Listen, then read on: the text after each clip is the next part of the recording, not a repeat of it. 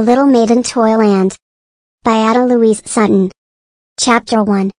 The Walking House. The doll's house stood in the most convenient corner of the nursery, having, like Noah's dove, found rest only after a somewhat varied and tempestuous experience. Sally had not been at all able to make up her mind just what location suited her best, and the house had patiently traveled, or, in other words, had been propelled by the united efforts of Bob and Sally. The corporal pushed and the sergeant pulled the one dragging, the other pushing, from corner to corner and from side to side of the spacious room.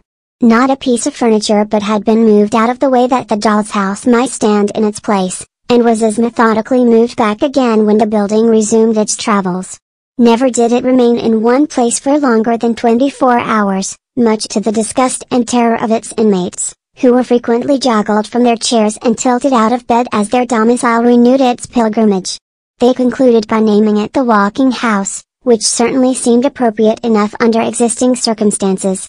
Finally, when the walking house had traveled around the nursery, Sally decided that the very best position was the one it had at first occupied, a sunny spot between two windows, and at night lighted from above by a bracket from which depended four electric bulbs.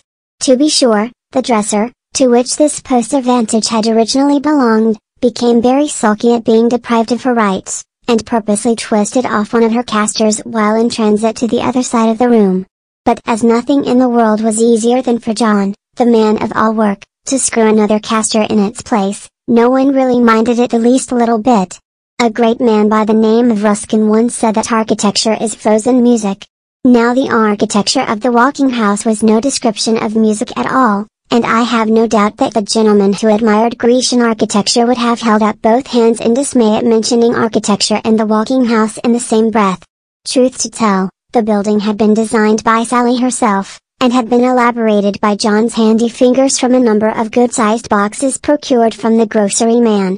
The boxes diminished in size as the house soared upward, the whole terminating in a peaked roof under whose roomy gable Sally had planned and consummated an attic for her beloved dollies that would have put to shame the garret of many a grown-up housekeeper. All the rest of the rooms had been papered by the children's deft fingers in neat little designs procured from Mr. Browse, the gentleman with a wooden leg who lived three blocks away and then around the corner and up one flight, as he himself was wont to describe it. And although he really did live up one flight as far as eating and drinking and sleeping were concerned, the shop was in reality only up one step, that most fascinating shop, from whose mysterious recesses might be procured rolls of the most delightful wallpaper, which was surely invented and designed simply and solely for the decoration of doll houses. Mr. Browse was an old soldier, according to his own account, and indeed was familiarly addressed as captain by his intimate cronies. He had lost a limb in a mysterious battle, the name of which, as spoken by himself, Sally had never been able to discover in any one of several histories of the United States through which the little girl had patiently toiled in search of it. However, Sally had unbounded faith in her hero, for such she considered him to be, and her admiration was returned with interest by the retired captain who, with his own hands, that, as Bob seriously remarked, had once wielded a sword, carried to the nursery a large pail of paste and assisted in hanging the wallpaper, and many a difficult corner he had arranged with neatness and dispatch. He had even tacked up tiny moldings made from the slender strips of which we gilt frames are fashioned. In fact, his work was a masterpiece of art, and Sally appreciated it hugely, making a shy return in the way of fat pin cushions and sprawling pen wipers, and even a gorgeous silk needle book, mysterious of design and most difficult of access as regarding certain wobbly strings and buttons, which, when once fastened, could never be persuaded to open themselves again, and behind whose secret fastnesses the needles comfortably and aimlessly rested. So much for the papering of the rooms. When it came to finishing the attic, why, that was quite another thing. Sally calmly but firmly declared that it underscore must be plastered underscore, and plastered it was, but altogether without the assistance of Mr. Browse, who declared that matters were growing altogether too complicated for him. And he politely retired, forgetting his pail of paste, however, into which nurse presently fell, much to the detriment of her best gloves which she had put on in order to appear unusually fine on her afternoon out. Nothing daunted, Sally flew to the cellar and routed out John, who was taking a bit of a nap in a cozy little den he had fixed for himself in the furnace room. John was surely an exception to most people, who are usually cranky at being wakened. He bobbed up smiling, and readily agreed to attend to plastering the attic of the walking house. And in a much shorter time than Sally had really expected, the whole job was finished and the little room with its beaked ceiling looked exactly like a really truly attic. The house, as before described, was built of good-sized boxes, neatly put together with narrow cleats to hide the joinings, and the whole was painted a delicate gray, only the sloping roof being moss green. John had covered this roof with tiny shingles, and the effect of the whole was extremely attractive. It was divided in the middle by a broad hall, at the back of which was a wide stairway. John had rather demurred at the stairway, foreseeing that the making of it would be a troublesome piece of business. But Sally had stoutly insisted thereon, for how on earth could a doll descend from upper stories to lower without stairs?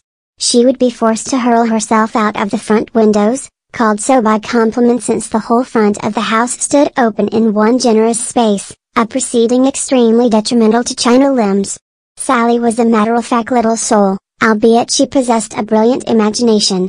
But she certainly builded better than she knew when she insisted on that staircase. John, as usual, gave in and the stairs became an accomplished fact. The lower floor of the walking house consisted of a spacious dining room on one side of the hall and a kitchen and laundry on the other. On the next floor were the drawing room, library and music room. On the third floor were three bedrooms and a bathroom, and above all, the attic. On one side of the house and running across the front on the lower floor, John had built a veranda, on which a doll might enjoy coolness and comfort on the hottest of days, while all the way up the other side ran a tiny fire escape, which finally disappeared in a scuttle in the sloping roof. Bob, just then much interested in electricity, wired the whole house and connected it with the electric light chandelier which hung above it, so that every room was brilliantly lighted with electricity, and an electric bell at the front door gave notice whenever a friendly doll dropped in for afternoon tea. Sally's one regret was that there was no cellar.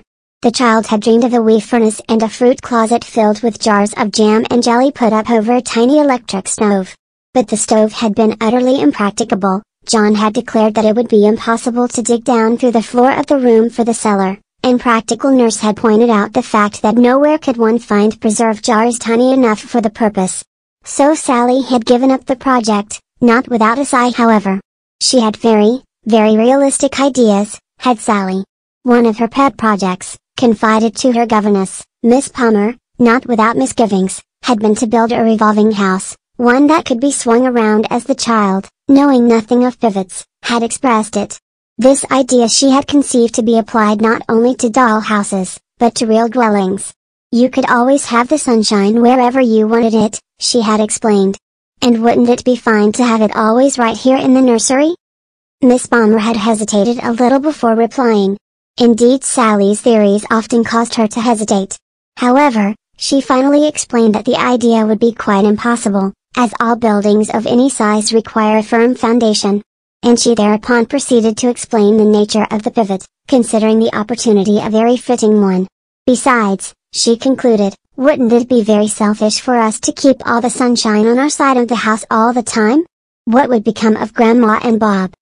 Sally was quiet for a moment, thinking, I didn't mean to be selfish, she whispered, snuggling her peachy cheek against her teacher's shoulder. I'm sure you didn't, my dear, returned Miss Palmer. And so it fell out that no architect, not even John, was ever requested to draw plans for a house that might revolve on a pivot. Chapter 2 The house is furnished.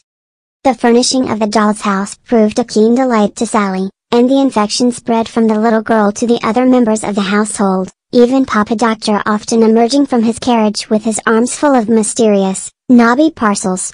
Mama Wee, as Sally lovingly nicknamed Mrs. North, renounced pink teas and bridge parties and spent hours every day sitting bow-legged like a Turk or a tailor, while she arranged the fascinating little rooms, laid small carpets and tacked up tiny, ruffled curtains.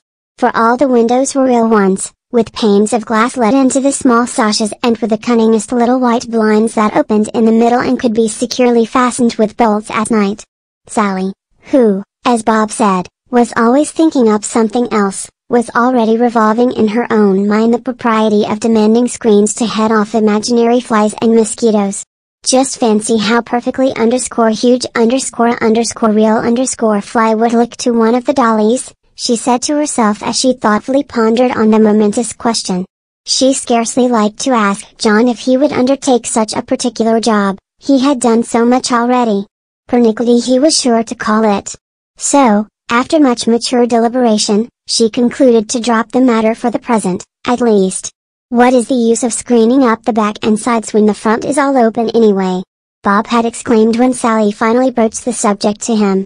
Oh, but we are imagining the front is just like that in any other house. Retorted Sally with some spirit.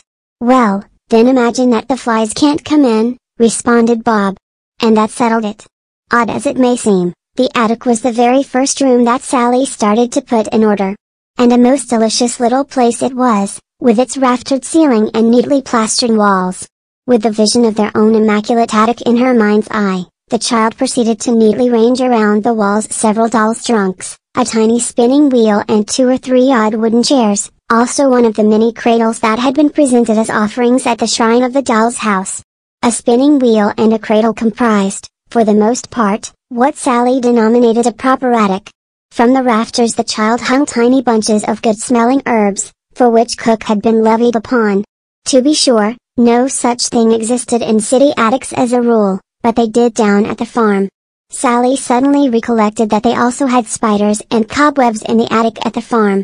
The very thought of a spider made her shiver, but she wondered if it would not be well to affect a few cobwebs, and privately concluded to request Miss Palmer, her beloved governess, to paint in a few with watercolors, a scheme into which Miss Palmer heartily entered, adding on her own responsibility a fat, yellow spider, whose appearance was so realistic that Sally shrieked when she first discovered it. Bob promptly suggested that a few rats should be added. But rats, Miss Palmer declared, were beyond her powers of creation. They would require to be real, solid little beasts, and not simply painted flat on the wall. To this Bob readily assented, gravely adding that if they were only painted on the wall, of course they never could come down at night to bite the dolls. Bob concluded his remarks by making a grimace so fearfully suggestive of a prowling rat that Sally fled in anguish, and Miss Palmer, while she could not refrain from smiling, felt forced to request that he would cease from tormenting his sister.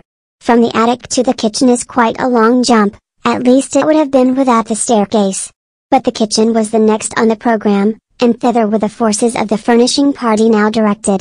Never had a new kitchen been so liberally supplied with stoves, kettles, pans and pots, especially underscore stoves underscore. It really seemed as if everyone who had not sent a cradle had sent a stove. Every kind except an electric one, as Sally sadly reflected.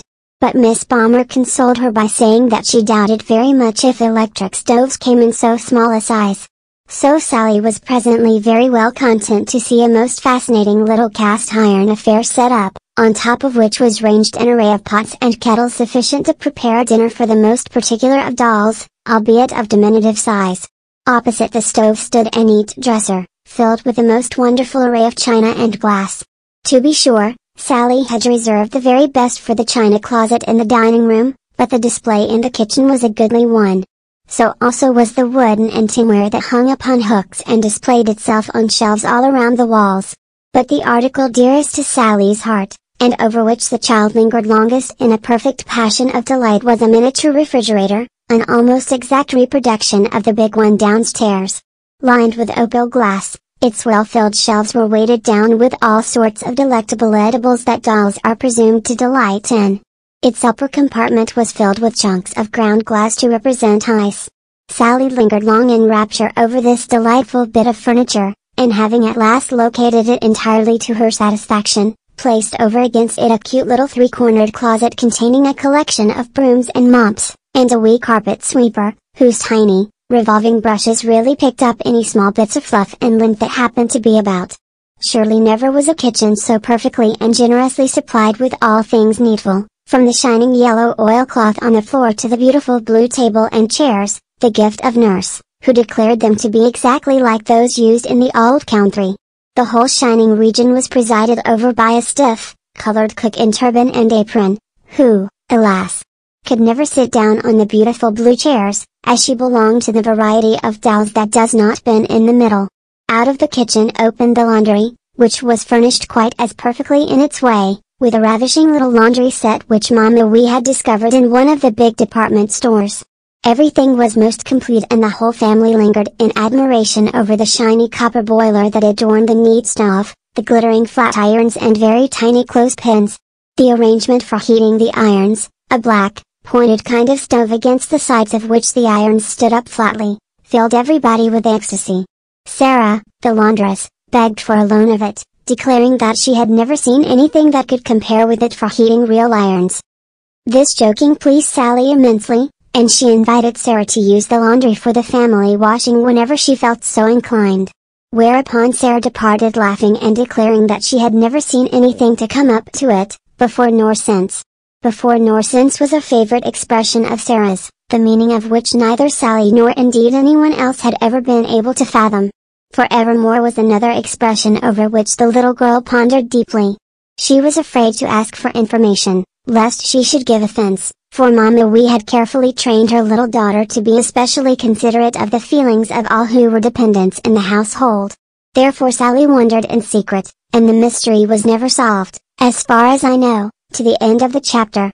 The dining room came next in the natural sequence of things, and an extremely imposing and spacious room it was, with floor and paneling polished to represent hardwood, while above the panels was displayed a gorgeous paper of a lively red pattern.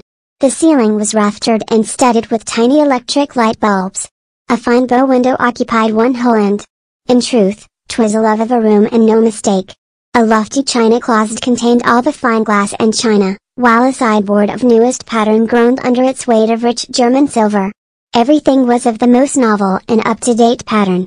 The round table, the finely carved chairs, and the beautiful Persian rug that Grandma had knitted from ravelings of carpet, worked and with heavy crochet cotton, all went to make up a picture not easily to be rivaled in the annals of dolls' houses. The bow window was a delight in itself. All around it ran a wide seat which Sally piled high with tiny silk cushions, while crisp muslin curtains finished with wee ruffles shaded the panes.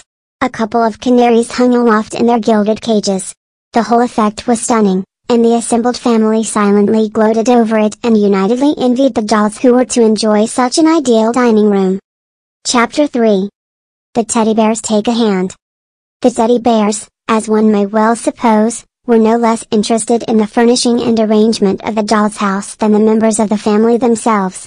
They had scarcely been able to sleep a wink for thinking and talking over the subject in hand, and Peter Pan himself had proudly brought gifts, not exactly gold, frankincense and myrrh, but something much more acceptable in the shape of a wee mailbox, the very counterpart of those that hang upon the telephone posts. It had been captured during one of his predatory night raids, during which he and Bedelia had ransacked a neighboring toy store, carrying off the mailbox as Peter Pan's share of the loot, while Bedelia joyfully abstracted a most delightful little work stand that could be shut up like a camp chair and stood against the wall if so desired, with a gorgeous yellow silk lining. In justice to the bears, it must be said of them that they did not, in this case, break through and steal, for Peter Pan left upon the counter a piece of money, shaken down from his own little bank, a most beautiful bank in the shape of a mottled, earthenware pig, which Sally had presented to him without the smallest idea in the world that he would ever use it for legitimate purposes. But the very fact of ownership turned the teddy bear at once into an inveterate miser, and he hoarded like a magpie, levying on every pocketbook that his mischievous paws fell upon. He was, however, too cute to appropriate any but small coins, so that thus far nothing had been missed. Teddy bears can scarcely be supposed to have any adequate idea of values, so when Peter Pan proudly deposited a nickel on the counter, he considered that he was paying very well for the articles chosen by himself and his wife. The piece of money was afterwards found by the shopkeeper, and as he never missed the small articles that had taken the fancy of the teddy bears, he considered himself a nickel in, and as a man thinketh, so is he. To extract the bit of money from the bowels of the pig had been a fearful piece of work, and had it not been for the end in view, the teddy bear would have given up in despair. To drop a nickel into the little slot in the creature's back, and then to listen to the delicious rattling it made in the cavernous interior was one thing, but to fish it out through that narrow aperture was quite another. Anyone who has ever tried the experiment will appreciate the dreadful quarter of an hour that ensued as the teddy bears, perspiring in every pore, struggled with that most niggardly of china pigs. First they essayed to fish at the coin, using successively a hairpin bent out straight and one end fashioned into a hook, a button hook, a pair of manicure scissors, ruining the curved points, a crochet needle, and nurse's best hat pin. Nothing, however, availed.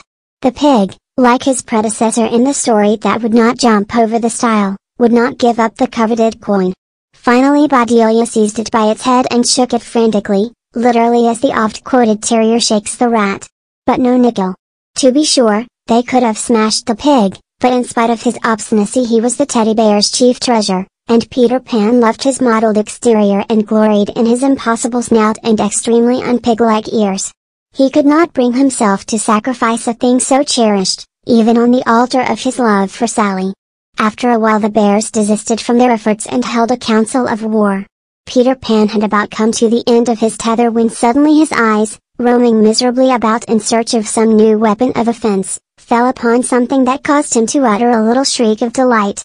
And the article was nothing more nor less than a stick of chewing gum. Now the teddy bear knew all about gum. He had tried to chew some once and has been obliged to beg help from Sally, so closely were his jaws welded together. She had laughingly pried them open, and had advised him not to bite off more than he could chew in the future. Peter Pan did not intend to bite off anything in this case.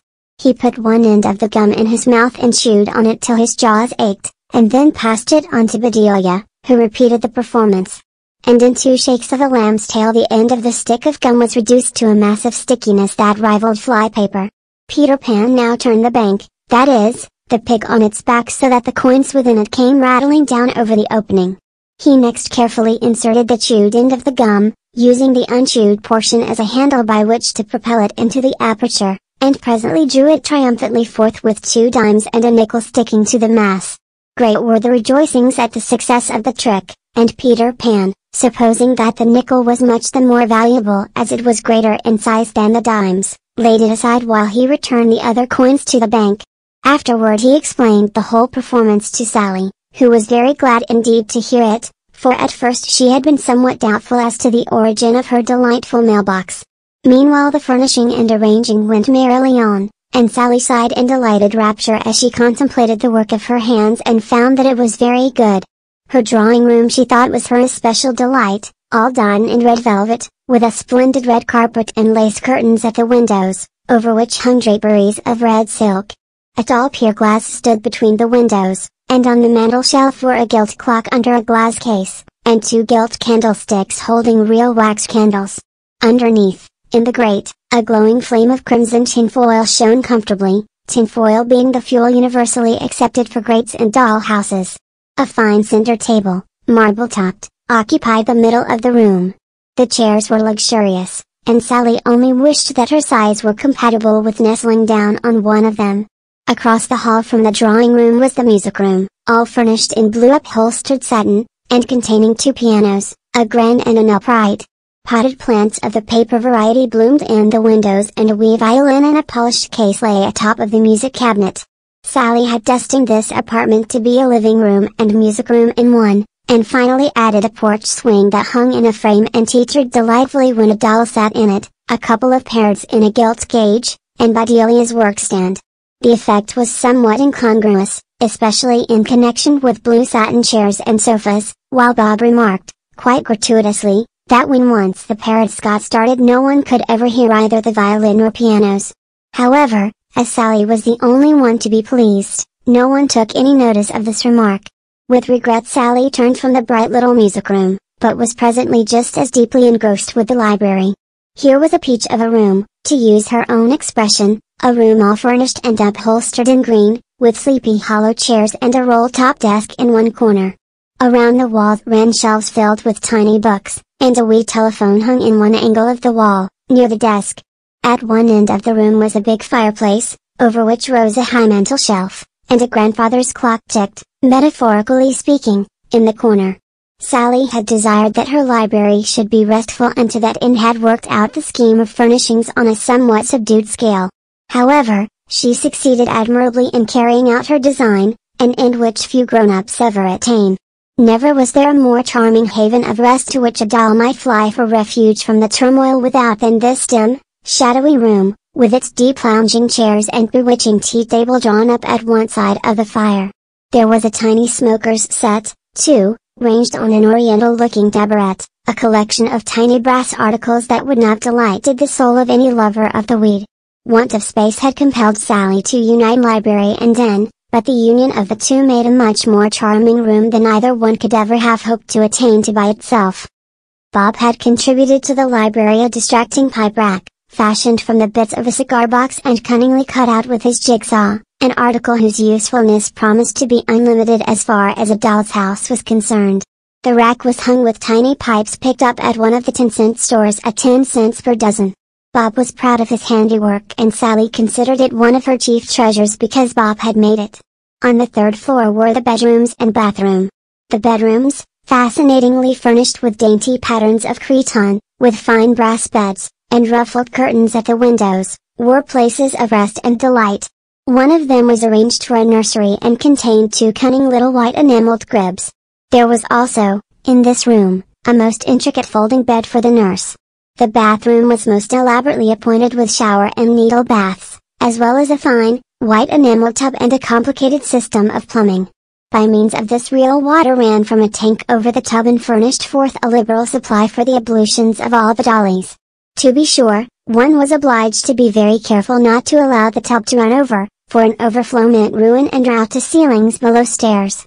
Teddy bears have no sense of ratio and no amount of explanation can ever convince Bedelia that she was of a size entirely out of proportion for the walking house. Finally she made one valiant effort to establish herself therein, but was driven to retire, growling, as she could not force more than her big head and shoulders into any of the ordinary sized rooms. There would not have been room even for little breeches, let alone for Bedelia's generous proportions. Chapter 4 Bedelia grows a tail. Bedelia was an extremely handsome bear, as teddy bears go, but for some time she had been plunged in inexpressible gloom because she possessed no tail. In vain her family expostulated with her, pointing out the fact that a bear with a tail would indeed be a freak and a monstrosity. Bedelia persisted in her notion, unreasonable as it was, and very nearly succeeded in driving Peter Pan to the verge of insanity. For although she let him a merry dance as a rule, he was extremely fond of her, and being of a chivalrous nature, made all sorts of excuses for her queer notions. Therefore he had very nearly arrived at his wits' end when Bedelia suddenly ceased her lamentations and became quite cheerful, a change which, had Peter Pan only read her aright, would have appeared ominous. However, the poor fellow was so delighted at seeing his wife once more like her former self that he suspected nothing, not even when Bedelia began to absent herself at intervals from the family circle. Truth to tell, Bedelia had a great deal more sense than most humans and realized after a little that scolding and fretting would never attain the end in view. She wanted a tail, and a tail she meant to have, and immediately began to cast around in her fertile mind as to the means that she should use to accomplish her end. She was far too cute to ask advice from those who had so discouraged her, but waited with trembling anxiety for the inevitable something which is sure to turn up sooner or later. It is a long lane, indeed, that has no turning, but the further one progresses, the nearer it is to the end, and Bedelia helped along the somewhat tedious waiting by a series of experiments that would have filled the breast of the gloomiest with hysterical mirth. The beautiful, feathery appendage of Rough House had at first attracted her attention as he held it aloft and waved it plume-like in the air. But somehow Rough House had been very rude and had nipped her smartly when she laid hold and began a series of heroic tugs. And she had retreated in disorder with a rip in her coat, made by the dog's gleaming teeth. Afterward she reflected that the tail was far too large and would not have matched her own fur anyway. This thought brought consolation and she proceeded to turn her attention and her energies in other directions. But try as she might, she could find nothing in the line of a tail that became her. She tried them all from every animal in the nursery, and nurse, finding them one by one lying on the floor, had shaken her head as she attached them successively to their original owners. She had her own ideas on the subject and they chiefly included rats, or perhaps little Rags who was getting his second teeth and might incline toward chewing things up. Sally alone suspected Bedelia, but was unable to catch her at her evil doing, as she carried on her marauding chiefly in the silent night. Having weighed in the balance and found wanting all the ready-made tails she could find, she looked about for something out of which to manufacture the right thing. Nothing, however, presented itself, and Bedelia realized that she could scarcely have formed so important an article with her own clumsy paws, even if it had. So for the time her occupation seemed gone, and she began to mope again, filled with chagrin that all her efforts should thus be foiled. Meantime the summer waned and crisp nights began to suggest fall weather. One bright afternoon Bedelia had been sitting curled up on the broad window seat on which she and her family kept house, pouting as usual and longing for something in the shape of mischief with which to occupy her rapacious paws. Sally and Nurse were busy making doll clothes, as several occupants of the walking house were still without suitable outfits. Suddenly Nurse exclaimed. I believe it is soon going to be time for furs.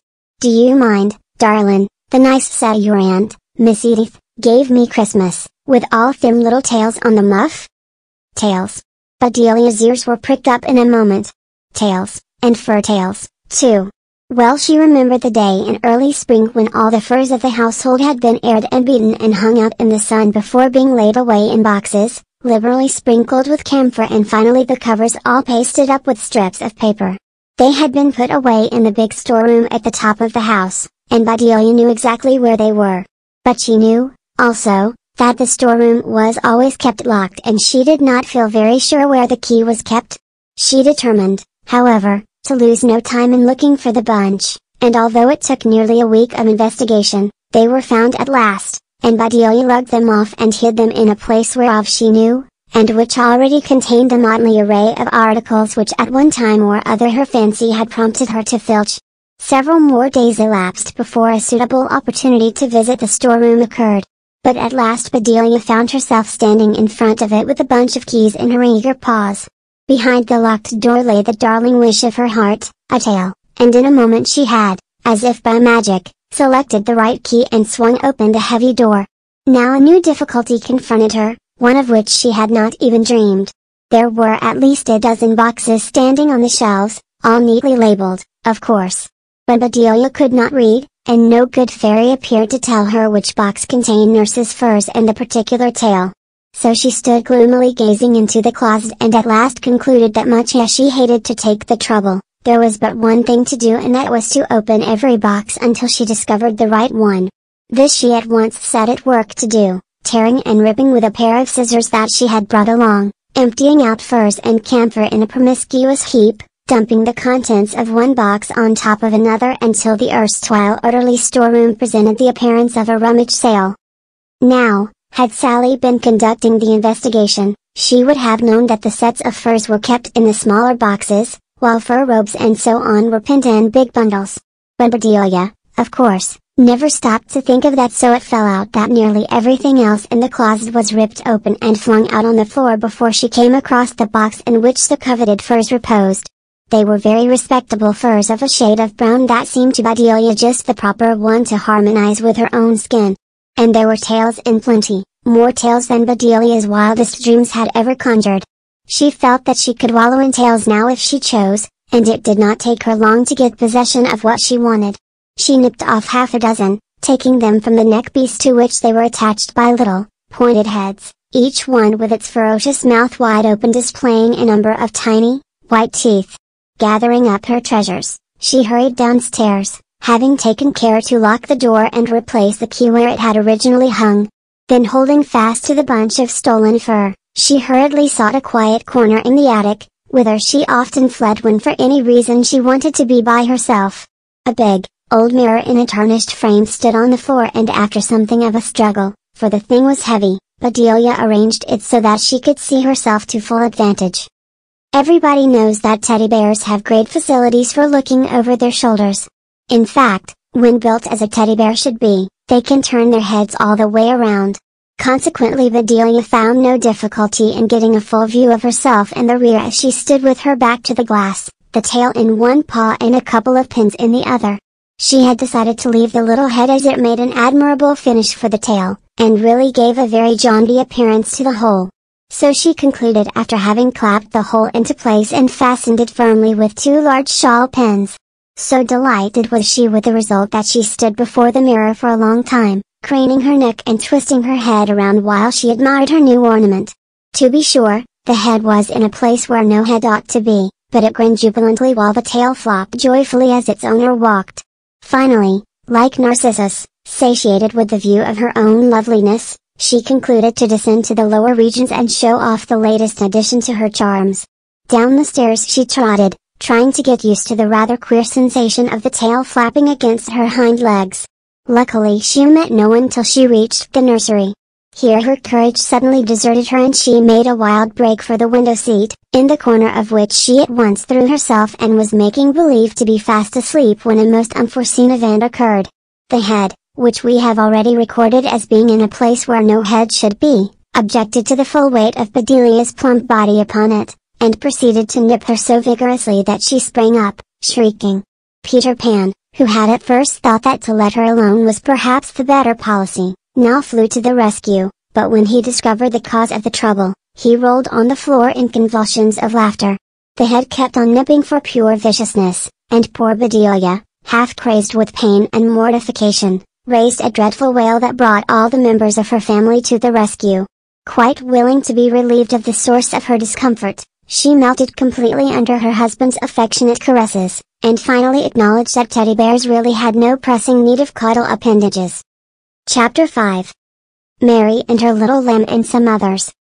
Among her most treasured dollies was one that Sally's Auntie Edith had dressed as Mary to be accompanied by her little lamb, the latter to be purchased from some toy store when Mary's wardrobe was completed. Now, the walking house had been built on generous lines so that the rooms were more airy and the dolls, in consequence, larger than those that inhabit most dolls' houses. Mary, then, was a blonde beauty, with the fluffiest of yellow locks, crowned by the most bewitching of shepherdess hats, and the most delightful costume of pale pink and white, perfect in every detail from the fluffy panniers of the overdress to the long, slim crook which Bob had carved with his jigsaw and which Mary, unfortunately, could not carry owing to the fact that her china fingers, like those of most dollies, were straight and inflexible. A bit of very fine wire, neatly manipulated, however, produced the desired effect, and indeed Mary felt very little doubt in her own mind as to the fact that all the rest of the dolls were cunningly deceived by it. So much for Mary. When it came to the lamb, that was quite another thing, for it seemed impossible to find anywhere a lamb of the correct proportions to fit in with those of the charming little Mary. Store after store was ransacked in vain, when suddenly Sally recollected that somewhere in the attic reposed the remains of a Noah's Ark which she had grown tired of and had put away some time before. To the attic, then, they flew and presently unearthed the Noah's Ark carefully tied up in brown paper and still in a very fair state of preservation. Out upon the floor pell-mell they emptied the animals, but no bleating or buying lambkin rewarded their quest. It seemed as if there had been a general demand for mutton and that everything of the sheep variety had been swept from off the face of the earth. Thoroughly disappointed, Auntie Edith sat dropping the animals back into the ark when suddenly she stopped with a little scream of delight and snapped up a small object that had fallen on the floor and been hidden under her skirt. Not a lamb, however, as Sally at first supposed, but a goat that might have passed anywhere for a sheep except for its horns. It is very odd what a striking resemblance often exists between the animals of a Noah's Ark when really there is no relationship between them at all. So it was with this goat. The little curls of wool with which he was covered, his legs and hoofs, his long, meek face, everything except the sharp, curved horns resembled most intimately Mary's little lamb. And it took about five minutes to transform him into that very animal. Off came his horns, as quick as a wink their little stumps were covered with bits of cotton wool neatly glued in place. A blue ribbon was tied around his neck and finished with a graceful bow, and, lo and behold, the lamb. To say that Mary was hugely delighted at this outcome is to put it very mildly indeed. For she had been greatly troubled in mind, fearing that after all she would not be Mary but somebody else that did not require the continued attendance of a lamb. Somebody else, or perhaps no one in particular. At this mournful conclusion a tear rolled silently down Mary's china cheek. But now it was all right, and she stood upright bravely on her little, high-heeled shoes, grasping her crook with one hand, while the other rested proudly on the lamb's woolly back. A very delightful picture she made, and a very welcome addition to the family of the walking house she proved to be. But of Mary and her little lamb we are destined to hear more hereafter. Sally was very fond of arranging and rearranging her doll's house, and on one particular morning was busily at work, this time at the kitchen that already shone with cleanliness. Sally was squatting on her heels, cleaning out the icebox, which contained many plates holding delicious looking foods of all descriptions. To be sure, they were only make-believe, but they certainly looked good to Sally, who had not eaten much breakfast and consequently felt hungry. One in particular appealed to her fancy, a delicious looking cake, frosted and ornamented as if for a birthday. Really all it needed was an array of glittering candles to make it perfectly realistic. Sally mechanically broke off a bit of the frosting and put it between her lips.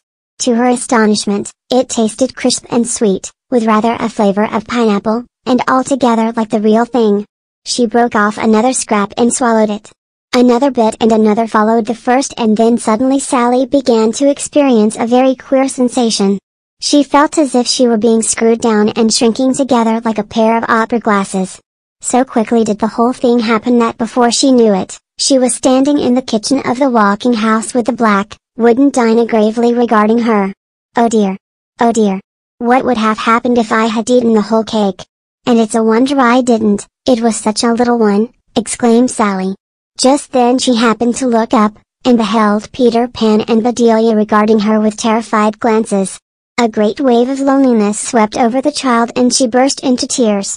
In a moment Peter Pan and Bedelia had each seized a fragment of cake and in less time than it takes me to tell it were rapidly following Sally's example.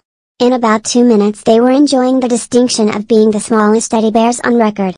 Into the kitchen they scrambled after Sally, much to the bewilderment of Black Dinah, who had never anywhere seen such creatures as teddy bears of that size, and was not at all sure that she liked them, especially when they walked into the house and took possession of her kitchen. The first few days of Sally's sojourn in the doll's house were full of events and also full of interest, and the little girl experienced all the new sensations that always come with a change of scene and place. Sally's intimate and somewhat unique experience of nursery life had really taught her nothing relating to existence in the doll's house, and the mode of living employed by the little people to whose number she now apparently belonged. She was, indeed, very much surprised to discover that in all respects they resembled very closely the human species, with all their little fads and fancies, jealousies and ambitions, and it was both amusing and astonishing to encounter among the dolls that she herself had bought for a few cents and dressed with her own hands and scraps obtained from the rag bag, personalities as striking and characteristic, as distinguishing as those belonging to some of the famous people whose lives she had studied with Miss Balmer during her history lessons. At least so one would think from their own opinions of themselves.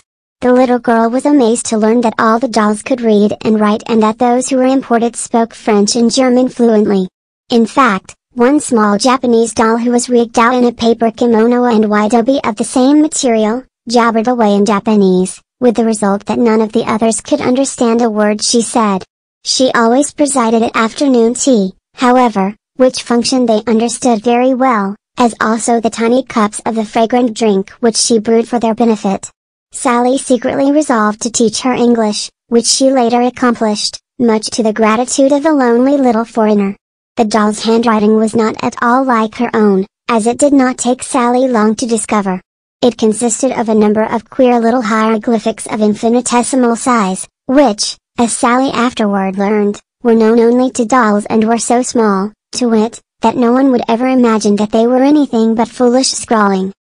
Chapter 6 The Little Back Door Sally was busily bustling around the kitchen, clad in one of Dinah's clean gingham aprons and with a stiff and clean bandana kerchief perched on her shining hair. For Dinah was ill, the result of an unfortunate accident, for which the little girl felt herself more or less responsible.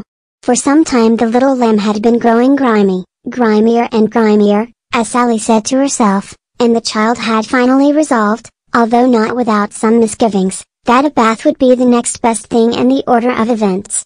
Having several old scores to settle, Mary joyfully offered to assist, and with such a backing Sally proceeded with her preparations in a resolute and hopeful frame of mind.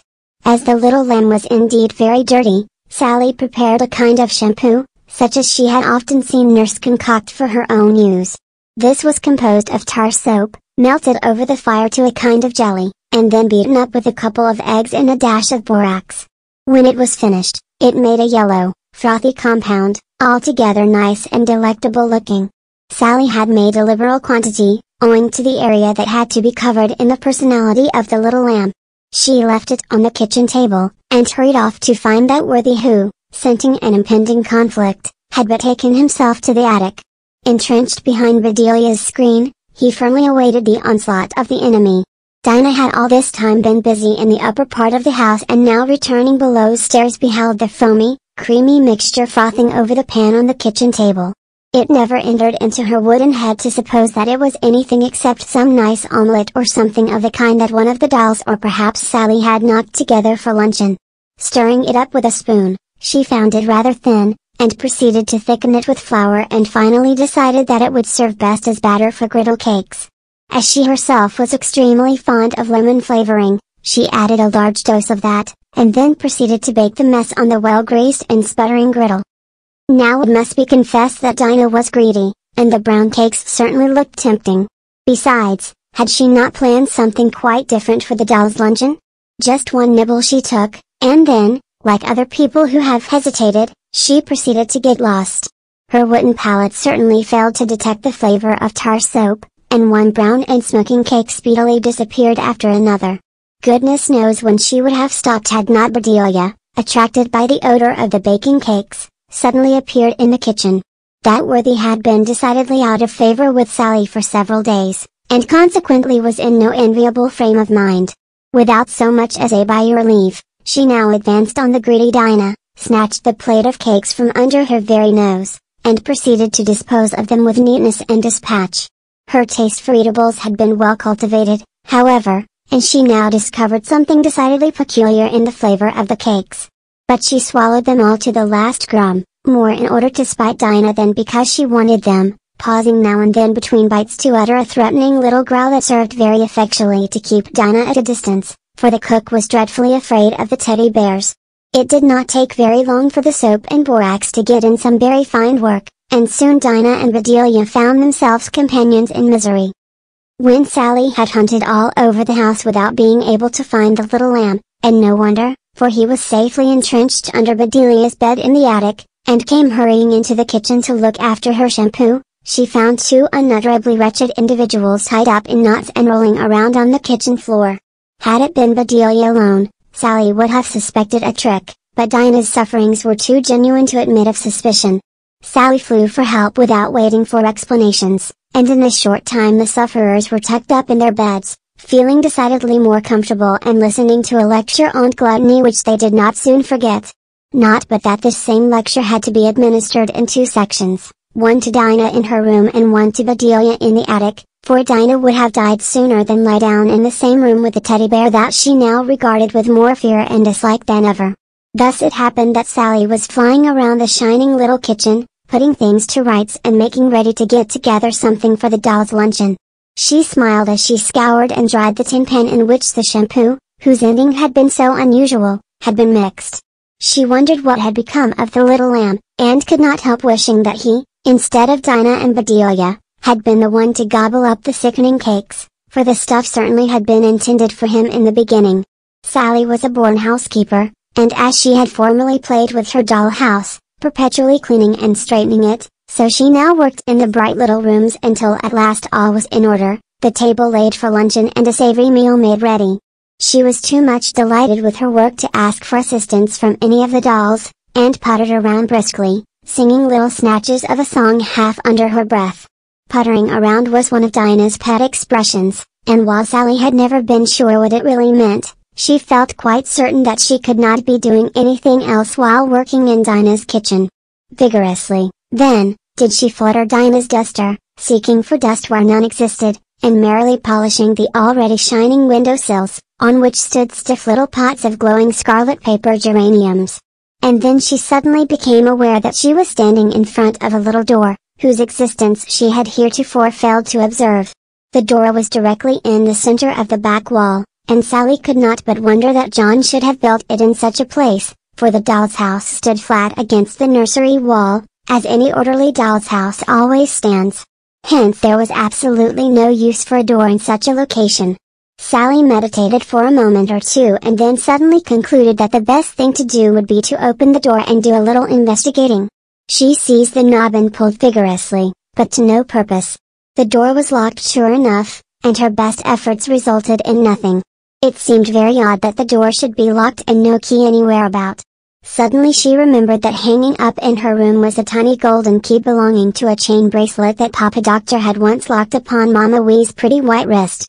For some inexplicable reason Mama Wee had never unlocked the bracelet, but Papa Doctor always wore the key on one end of his watch chain until one day the slender golden ring from which it hung broke, and Sally had found the key lying on the floor.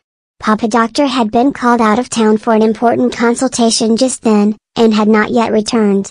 Therefore the key was hanging up in Sally's room, and thither the little girl hastened.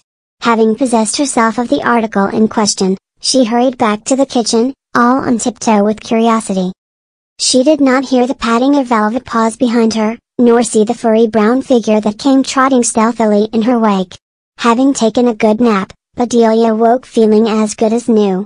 After a few preliminary yawns, she bounced out of bed, much to the detriment of the little lamb who, too much scared by all the rumpus to run away, had finally fallen asleep under the bed with his head sticking out at the inner side where he had considered it quite safe, as the bed stood comparatively close to the wall.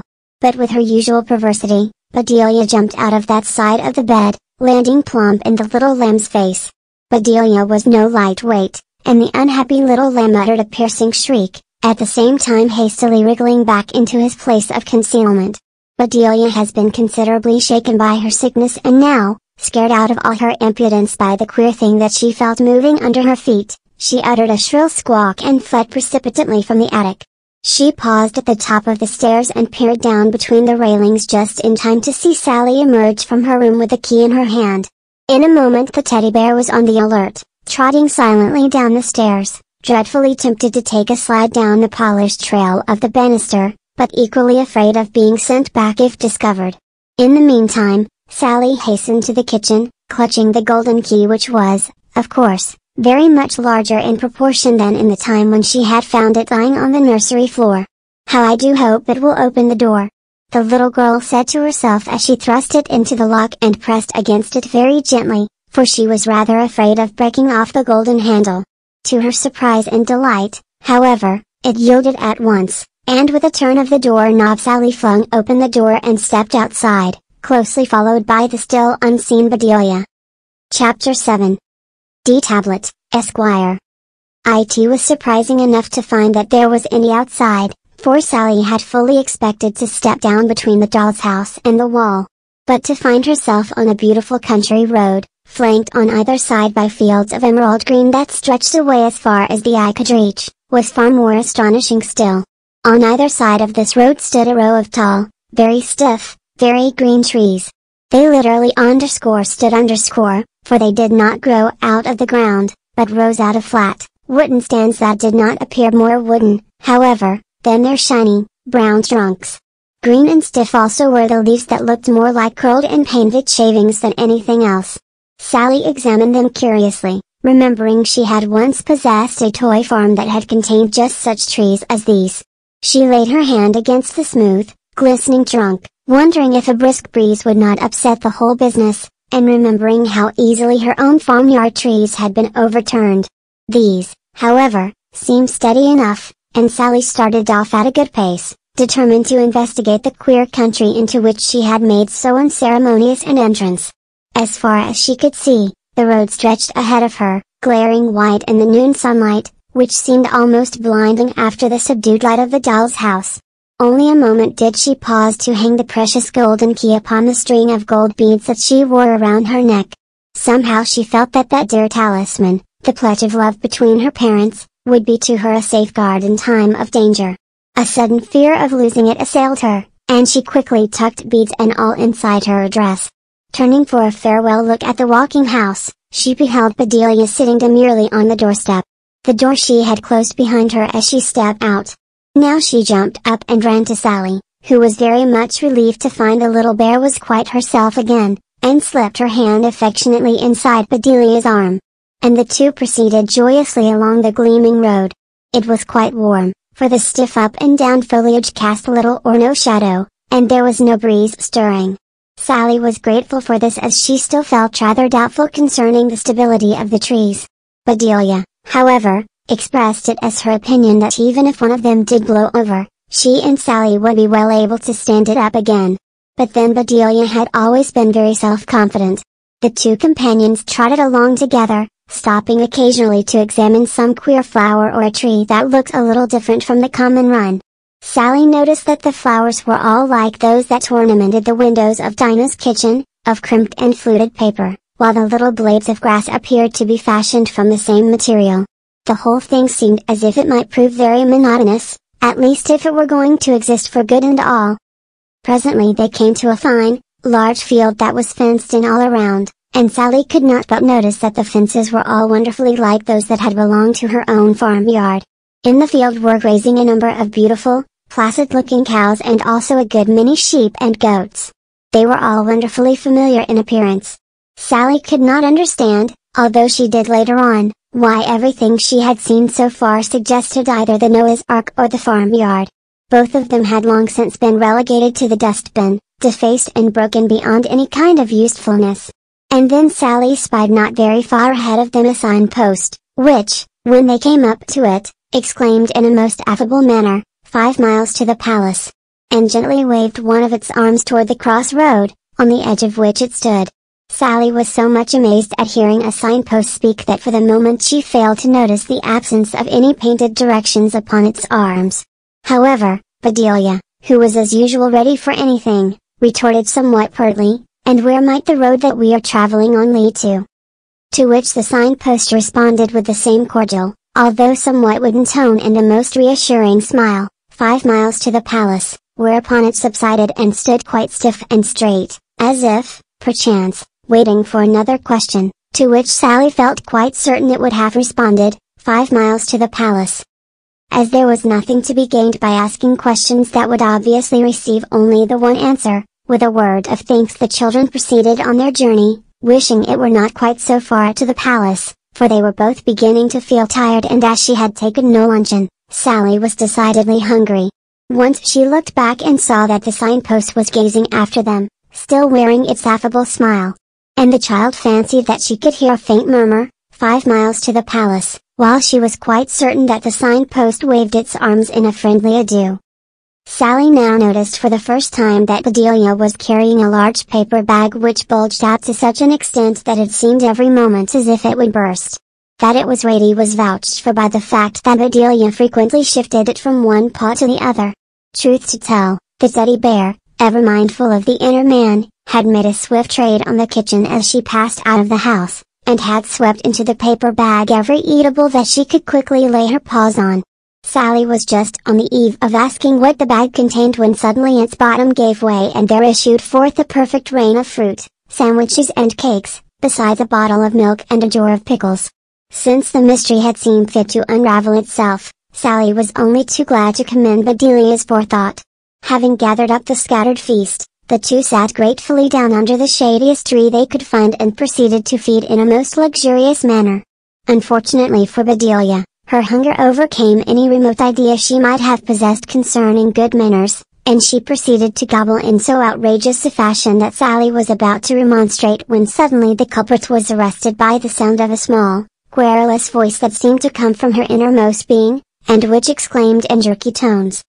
Don't shovel things down so fast, for goodness sake! How do you expect me to get any work done properly when you work me so fast? Oh, dear! Oh, dear! I shall never have anything in order. Bedelia distinctly felt a queer sensation as if something were hopping up and down at the very center of her little, round stomach. To say that she was terrified is putting it very mildly, while Sally was too astonished to move, even though she had by this time become used to queer happenings. Don't drink any more milk, continued the voice in a kind of exasperated squeak. Everything down here is in a flood. I can hear your food splash as it drops in.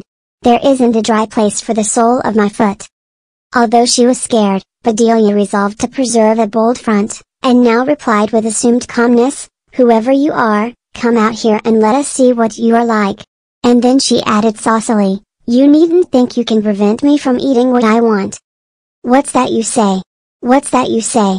squeaked the voice, as if its owner were in a terrible rage. And the very next moment Bedelia felt a dreadfully choking sensation, and out of her mouth popped the queerest little figure that Sally had ever laid eyes upon. He was not more than half an inch tall and he was pink all over, even his eyes and his hair and his long, flowing beard, bright pink like Bedelia's tongue. And there he stood, glaring at Bedelia as well as he could, for the bright sunshine made him blink dreadfully, and at the same time he bowed politely to Sally, whom he evidently regarded with approval. And Sally bowed gravely in return, although she could hardly keep from laughing outright at the queer little creature with his round, flat body, his thin, crooked arms and spindling legs, and above all his extremely pompous manner. In me you behold tablet, D tablet, he remarked without further preliminaries. He paused a moment, and Sally exclaimed impetuously, I have heard of dyspep, here she stopped abruptly, afraid she had already given offense. Dyspepsia tablet she had been going to say. But much to her relief, the little creature nodded affably and quickly continued, children like you, who eat in moderation and show some breeding while they eat, have no need of my good offices. Only creatures who stuff like pigs have to be reproved by me. There was a slight pause and D. Tablet presently continued, evidently flattered by the attention of his audience, although he still glared at Bedelia out of his pink eyes which had now become accustomed to the sunlight. Know, then, he went on, that your stomach and everybody's stomach is simply a storehouse in which the food is put away on shelves and pantries and cupboards as fast as it is swallowed. Everybody who comes into this country has a D tablet in his stomach to attend to this business. He may not know it, but we are there all the same. Therefore when you pile in 50 different things at once and drown it all with oceans of liquid, how can we possibly get things in any kind of order? We don't, and then you are ill, as underscore you underscore were yesterday. Bedelia jumped, so suddenly did D tablet wheel around upon her. And then when you don't chew your food, what do you think happens? A few moments ago you were gobbling exactly like a pig. Do you know what that spells? Perfectly, independent gentleman. And I don't care snap what happens, impudently retorted Bedelia. By this time she had decided that D tablet was a great bore, and being still hungry, was itching to get at her neglected luncheon. At this D tablet turned pinker than ever with rage. His flat little body seemed to swell up until it was nearly as round as a marble. For a moment he stood shaking with anger, and then without another word suddenly vanished, but whether they were not able to see. Whether or no he had plunged down Bedelia's throat and once more assumed the endless task of setting her internal economy to rights, neither Sally nor the teddy bear had time to observe. Chapter 5-3 The Talking Signpost don't you think it was telling awful whoppers? asked Bedelia, as she settled down comfortably upon her haunches and proceeded to dispose of a plump red banana with a rapidity that would certainly have called forth a rebuke from the personage to whom she referred. Sally hesitated, not quite certain which side it devolved upon her to defend. She certainly had been somewhat impressed by D-Tablet. Had she not seen him come tumbling, frog-like, out of Bedelia's throat? For aught that she could prove to the contrary, he had, perhaps, gone tumbling back again. Being thus cruelly torn between her fondness for Bedelia and her sense of justice, she wisely held her peace, while Bedelia, by this time well on the way with the second banana, mentally hurled defiance at her pink advisor. He was damp all over. He looked as if somebody had underscore licked underscore him. She finally ejaculated, throwing away her banana skin and standing up preparatory to suggesting that they resume their journey. At the same moment her face stiffened, while her eyes fairly bulged out of her head with amazement. Hurrying straight down the road toward them, and advancing by leaps and bounds was a long, lithe figure that they both recognized as it came nearer as the talking signpost. It now came up at a brisk gallop, and exclaimed breathlessly as soon as within hailing distance. I was underscore so underscore afraid you would get lost without me. Thereupon it threw itself comfortably down on the greensward and beamed amiably at Sally. She felt very much like replying that if he had been a little more communicative in the beginning, the danger of going astray would have been smaller. However, she refrained, being dreadfully afraid of offending the signpost, who after all appeared to be very good-hearted. Not so Bedelia, who cocked her sharp, little, black eyes in a most inquisitive manner and hastily retorted, no thanks to underscore you underscore if we underscore did underscore get lost, with your 5 miles to the palace and nothing else. How should we know which turning to take next? And then she added hurriedly, why don't you have things painted on you as they do in civilized countries? If by underscore things underscore you mean directions, replied the signpost gravely, It would be altogether superfluous in a land where everything can talk. And as for turnings, he added severely, there aren't any. All the roads in Toyland lead to the palace, so you are sure to get there some time or other. To be sure, some roads are longer than others. In the event of your taking the longest one, you might consider yourselves lost. All out of patience with what she considered an extremely roundabout explanation, Bedelia did not trouble herself to reply, but Sally hastened to smooth things over by offering the signpost some luncheon out of the paper bag, which they had managed to repair with some pins and which now contained the remnants of their repast. This, however, he politely refused, having already lunched copiously on his usual diet of shavings which curious regimen agreed best with his wooden constitution. Sally was rather disappointed at this. She recollected once having been taken to the zoo and having seen the ostriches fed with oranges. And she remembered how very queer it had appeared to her to watch the fruit as each piece traveled down the bird's long, red throats, one chasing another until they finally vanished in the feathery region below. She could not help thinking that the signpost was very like the throat of an ostrich, only the resemblance continued all the way down. She could not but wonder where the luncheon would finally have located itself, as there were apparently no facilities for expansion in the general makeup of the signpost. There was a short silence, during which Bedelia made ostentatious preparations for moving on. Fond as she was of the little bear, at that moment it seemed to Sally that it could not exist in any sort of comfort without making somebody else miserable. So she said very gently. Would you kindly tell me what land we are in? She felt quite sure that the signpost was waiting for her to open the conversation. An expression of surprise flitted over the mobile countenance of the signpost, but he replied without further comment, This is the wonderful country of Toyland, and then murmured in a reminiscent manner, five miles to the palace five miles to the palace. After a moment he added, perhaps it will be just as well for us to be moving without more delay. It is quite a long way for you to walk. So all three got upon their feet and cheerfully resumed their travels. The country, although very fresh and green, seemed to the little girl rather monotonous. The same cows, pigs and sheep, the same stiff little wooden houses, fenced in by the same stiff wooden railings. People seemed few, but as it was not far from noon, Sally concluded that they must all be eating their dinners. And a very sensible conclusion it was. The few folk that were encountered were of the wooden doll type, and they all appeared to be so very busy at their work in the fields that Sally forbore to hail them, although she would dearly have liked to stop long enough to pass the time of day with them. So the three proceeded, chatting merrily, the signpost accommodating his long, swinging stride to the shorter steps of his small companions. An exchange of confidences was, of course, the natural thing, and Sally was soon giving a complete account of herself and Bedelia and of how they had happened to stumble into Toyland. The signpost listened with attention, and in return gave much valuable information concerning both himself and the country. He explained that there were many other signposts like himself, that they were stationed at intervals of five miles, and that it was their duty to conduct as well as to direct strangers, should they so desire. He also explained that there was no night in Toyland, as it was a very difficult and expensive business to start up the sun, which in consequence was allowed to go on shining underscore ad libitum underscore. Whenever anyone feels in need of rest or underscore repairs underscore, he takes a trip to Sleepy Town. It lies just over there and adjoining our own country.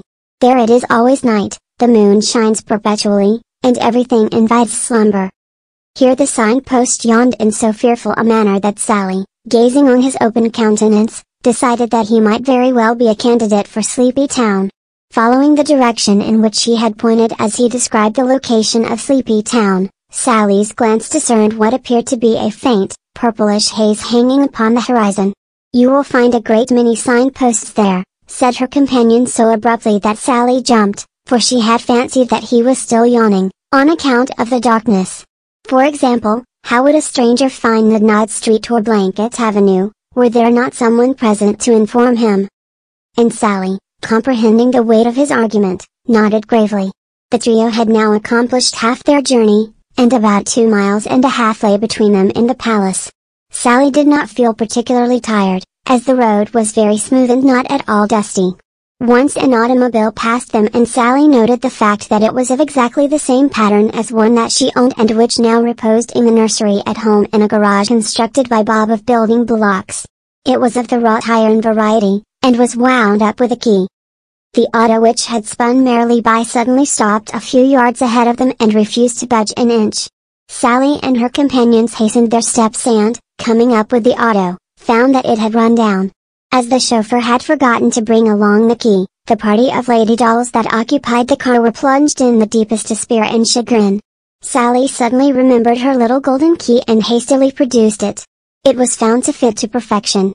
With many thanks the party proceeded on its way, first having invited Sally and Bedelia to take seats in the car. The signpost was, of course, quite out of the question. However, Sally politely declined, as she really preferred very much to continue her walk with her lanky companion, to say nothing of Bedelia. This the signpost greatly appreciated, and presently stooped down and, gently lifting the little girl, he poised her aloft on his shoulders, and in this gallant fashion she rode for a mile or more, while Bedelia trotted behind, grumbling and growling at the discourtesy shown her. Although she had been very uncivil indeed to the signpost, Bedelia could see no good reason why she should not ride on his other shoulder, being completely rested, indeed, she had not been a bit tired in the beginning, Sally slid laughingly to the ground, quite in opposition to the wishes of the signpost, who would gladly have carried her till the end of the chapter. They had ascended a slight hill, and the city now lay in plain sight in the charming valley beneath them. Sally could not but observe that there was nothing at all imposing in its appearance. All the houses seemed planned after about the same pattern, even the palace itself seemed to be only a doll's house on a larger scale than the others. Sally's mental comparison of it with her own beloved walking house was anything but favorable. The little girl presently paused, however, to reflect that being now in the country of dolls and toys, she could scarcely expect to find skyscrapers. Bedelia turned up her nose frankly enough, and, as was her custom, at once proceeded to express her opinions without let or hindrance. And what might have been the result had she been permitted to conclude as she began no one knows, for the signpost was beginning to look very much put out. But just at that moment their attention was attracted by a loud noise behind them, a fearful pounding and bumping. Looking around, they beheld advancing along the road at a high rate of speed a huge underscore something underscore what they were at first unable to decide. But as it came nearer and nearer and finally swung into full view, they discovered that it was nothing more nor less than the walking house, hurrying along at an astonishing pace, while from the interior issued a doleful voice which loudly repeated at intervals the entreaty, Wait for me! Wait for me! All its windows glistened in the sun like blinking eyes, while the casters on which it originally stood had somehow turned into prancing feet that now hopped and skipped along with the greatest alacrity. On it came, bumping and bouncing, and all its terrified inhabitants bumped and bounced too, while they hung on for dear life to any available piece of furniture that they had happened to grasp. And nearly scared out of their wits was every mother's son of them, for only a colony of rubber dolls could have been in a comfortable frame of mind under such trying circumstances. Greatly relieved were all when the frisky house suddenly ceased its gyrations and came to a dead stop directly in front of Sally. Chapter 9 Joytown It was clearly a case of a runaway house, and before Sally had time to finish wondering how on earth it could have walked out of its own back door in order to step into Toyland, as she and Bedelia has been obliged to do, she was surrounded by all the inmates of the walking house, who came scrambling down the stairs and out of the doors, thoroughly glad that their rough and tumble ride had come to an end. Everybody crowded around Sally, and all sorts of experiences were exchanged, Finally the signpost reminded the little girl that it was growing late and if they wished to enter the city under his escort, it would be well to make a move, as he had already been a long time away from his post of duty. Accordingly the whole party set out, and soon descended the slight hill from which Sally had taken her first look at the city. After they were all safely at the bottom, the doll's house proceeded down very cautiously and underscore backwards underscore for it was dreadfully afraid of spilling all its contents if it went down in its normal position. At length it was safely landed at the bottom, but Sally immediately discovered that it never would be able to get into the city as the gates were not particularly wide, and certainly had never been set up with a view to admitting strange houses that came galloping along, unceremoniously clamoring for entrance. Therefore after a brief consultation, it was decided that the house should remain outside the gates, which were never closed, as there was no night there, and that the family should make it their headquarters and return for rest and refreshment whenever they became tired out with exploring the new country. This matter having been arranged, Sally and the faithful signpost proceeded to lead the way into the city. Over the gates was inscribed the legend. The City of Joy. Neatly painted in plain characters distinct enough for all to read. And with this most propitious name to greet them, the inhabitants of the walking house advanced bravely up the principal street. Everything appeared to be extremely peaceful. People, who, of course, were all dolls and very much like their visitors in size and appearance, were going about the streets and in and out of the shops and offices. Sally rather wondered at the absence of policemen, but upon remarking on this to the signpost, quickly found herself obliged to explain what she meant.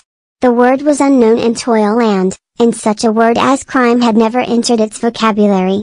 The signposts were the nearest approach to anything in the nature of the force, and they were only for general guidance and information. The little girl marveled greatly at such a state of affairs, and hoped most devoutly that Bedelia would behave herself while sojourning among such peaceful folk. That worthy, trotting along with her paw clasped in Sally's hand, looked the very picture of innocence. Sally had seen her look like this before, and at such seasons usually prepared for the worst. The main street upon which they now were walking led straight to the palace, which towered aloft above the other houses in the very center of the city. Upon closer acquaintance, Sally quite altered her previous opinion and found the building a very fine one indeed, even in comparison with the walking house. She could not help wondering if it also possessed feet and embryo that might develop and run away with it at any unexpected moment. She was rather afraid that the dwellings in Joy Town, having noted the example of the walking house, might perchance take a notion to follow the same. There was, however, nothing whatever to cause apprehension in the dignified attitude of the state and stationary dwellings of the chief city of Toyland. Sally felt that all quite depended upon their powers of observation, and whether or not they had noticed the antics of the walking house. For is not example more effective than precept? Sally feared that it might be so. However, she had no time for reflection, as all the party were anxious to make a tour of the city, and the dinner hour was rapidly approaching. It was too late to visit the palace, so after a walk, during which they covered a good deal of territory, they retired to their own dwelling.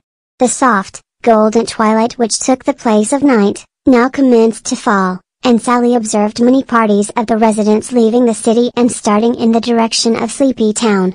The signpost, who, at Sally's earnest solicitation, had obtained permission from headquarters to remain with the child and her party during their stay in Toyland, now informed Sally that the twilight was brought about by draping the sun with many veils of delicately tinted gauze. You see there really is no necessity for it at all, except that having the day all the time becomes rather monotonous, he went on. And besides that, there would be no sense in having such a long day. One could not continue at work for more than six hours, the time laid down by the trade unions. This seemed a remarkably short day to Sally, and she now inquired what the signpost meant by veiling the sun.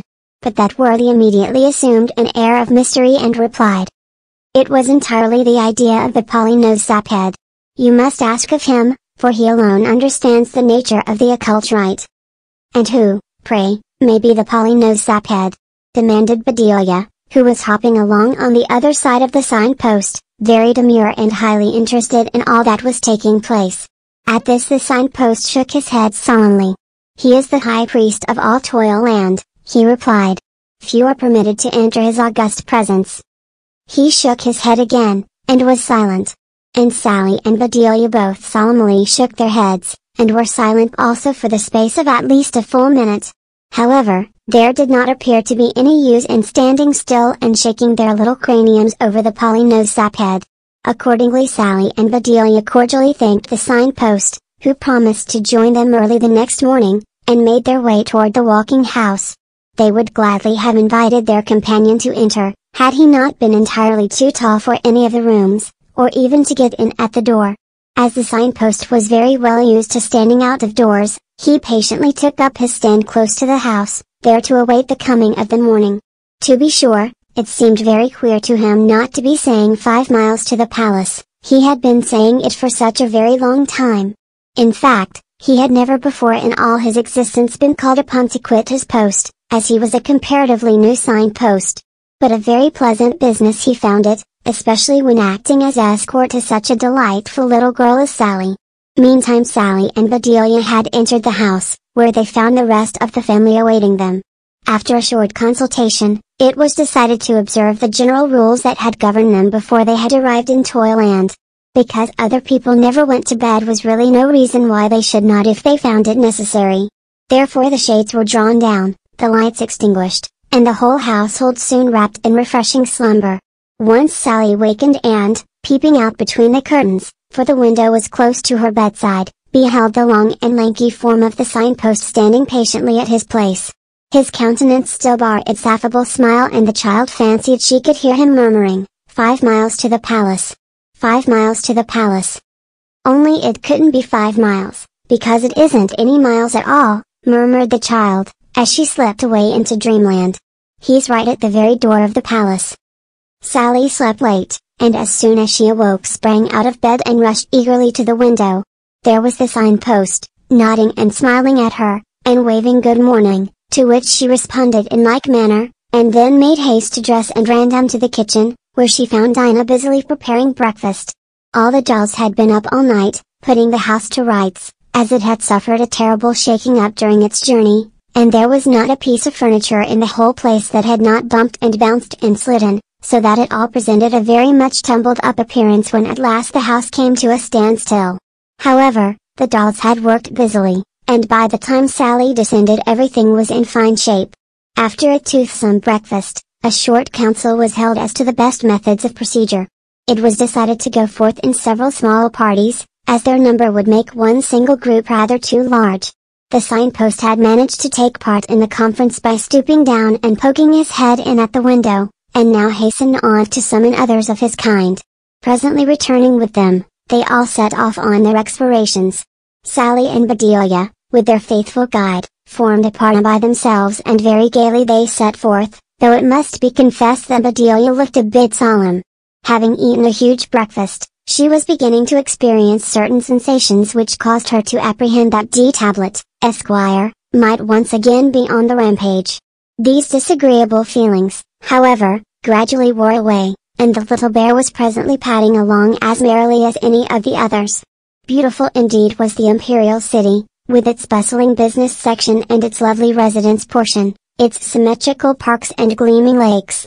And high above all, as if keeping guard over the peaceful city, the lofty palace, which stood on a slight eminence and was therefore rendered extremely prominent by its position as well as its size and distinctive style of architecture. Sally did not know very much about architecture, most of her knowledge on the subject was included in the somewhat mixed-up style of the walking house. Neither she nor Miss Bomber had ever been able to decide whether it was Grecian or Roman, ancient or modern.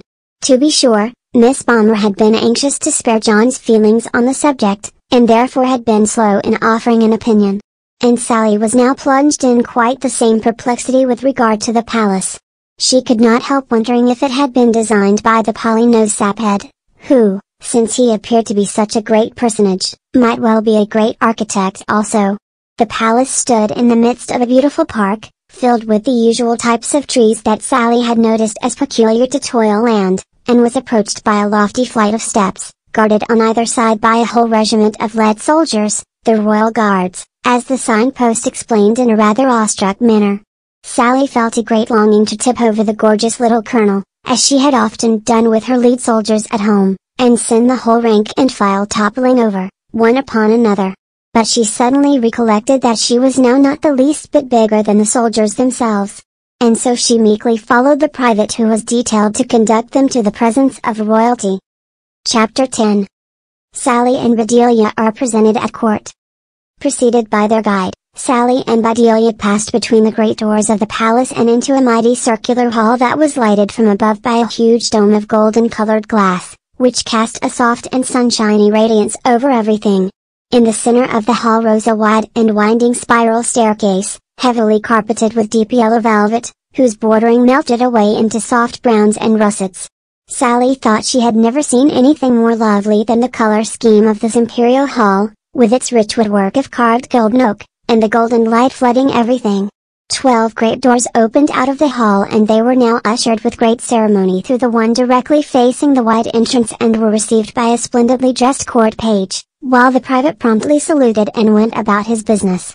When Sally, with heart thumping in a most uncomfortable manner, ventured to lift her eyes from the pavement of tessellated marble, she beheld a most magnificently appointed apartment of regal size, thronged with courtiers and ladies in waiting, all in splendid court dress, while at the further end rose a gorgeous throne upon which were seated two of the handsomest dolls she had ever seen.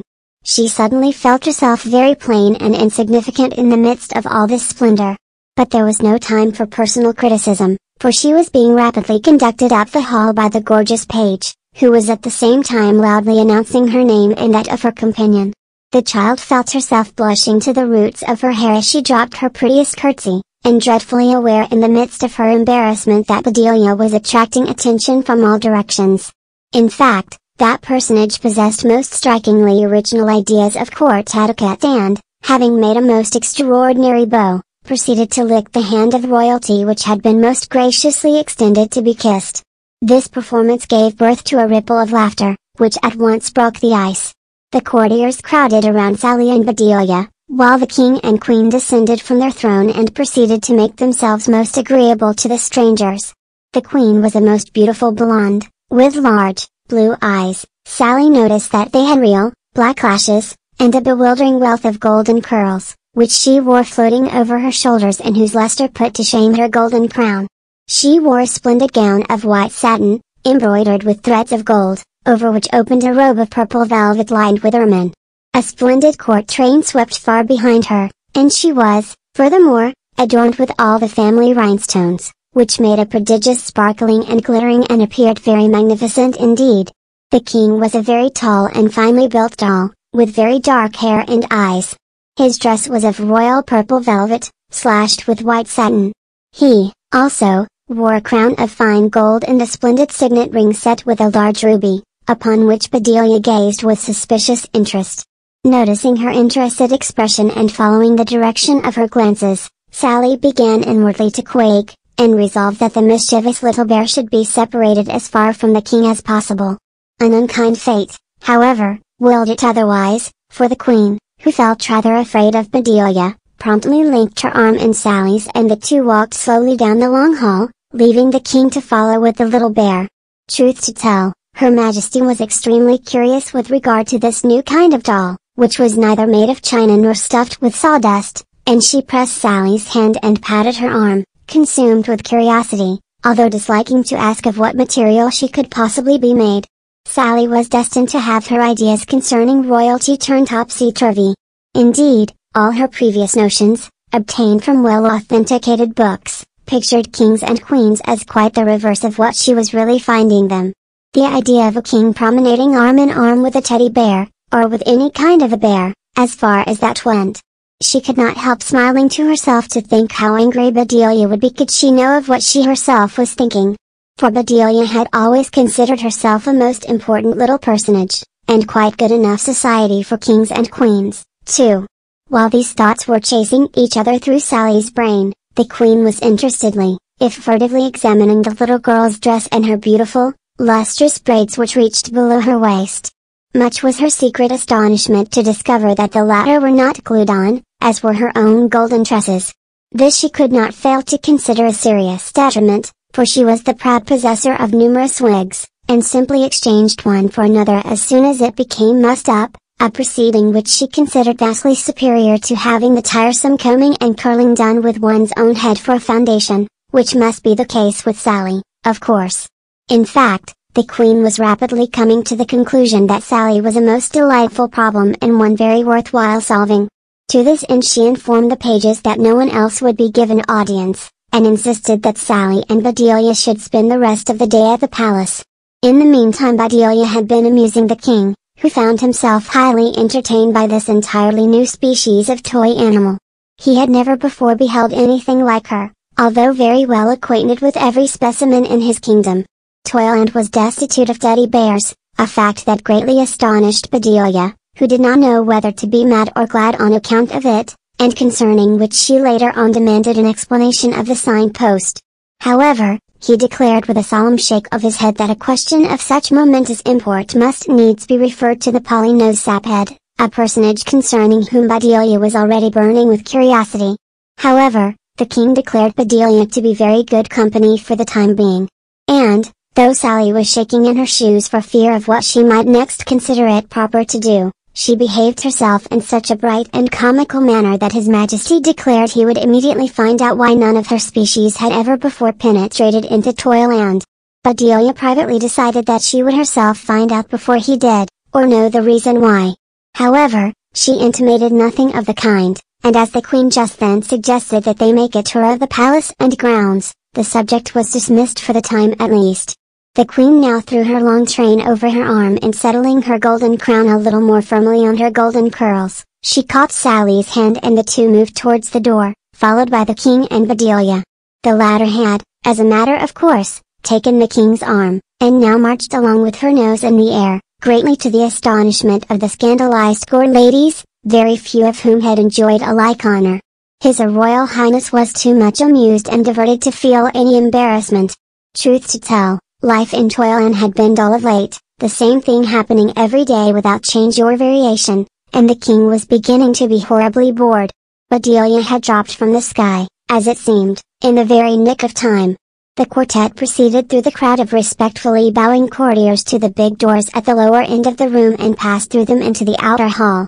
The royal automobile was in waiting, and after a general tour of the palace the party stepped into it and started for a ride through the charming country. As they reached the edge of the town, they beheld the walking house patiently awaiting developments and, both king and queen desiring to look it over, the party descended at once and proceeded to examine it. The position of guide was, of course, snapped up by Bedelia, whose fluency of speech fitted her very well for such work. The king inspected everything with the greatest interest, noting many improvements unknown in Toyland. Both king and queen insisted on being introduced to all the dolls, and made themselves most delightfully agreeable. The little bear now noticed for the first time the absence of Peter Pan, a fact which she had hitherto passed by, owing no doubt to the very good time she was enjoying.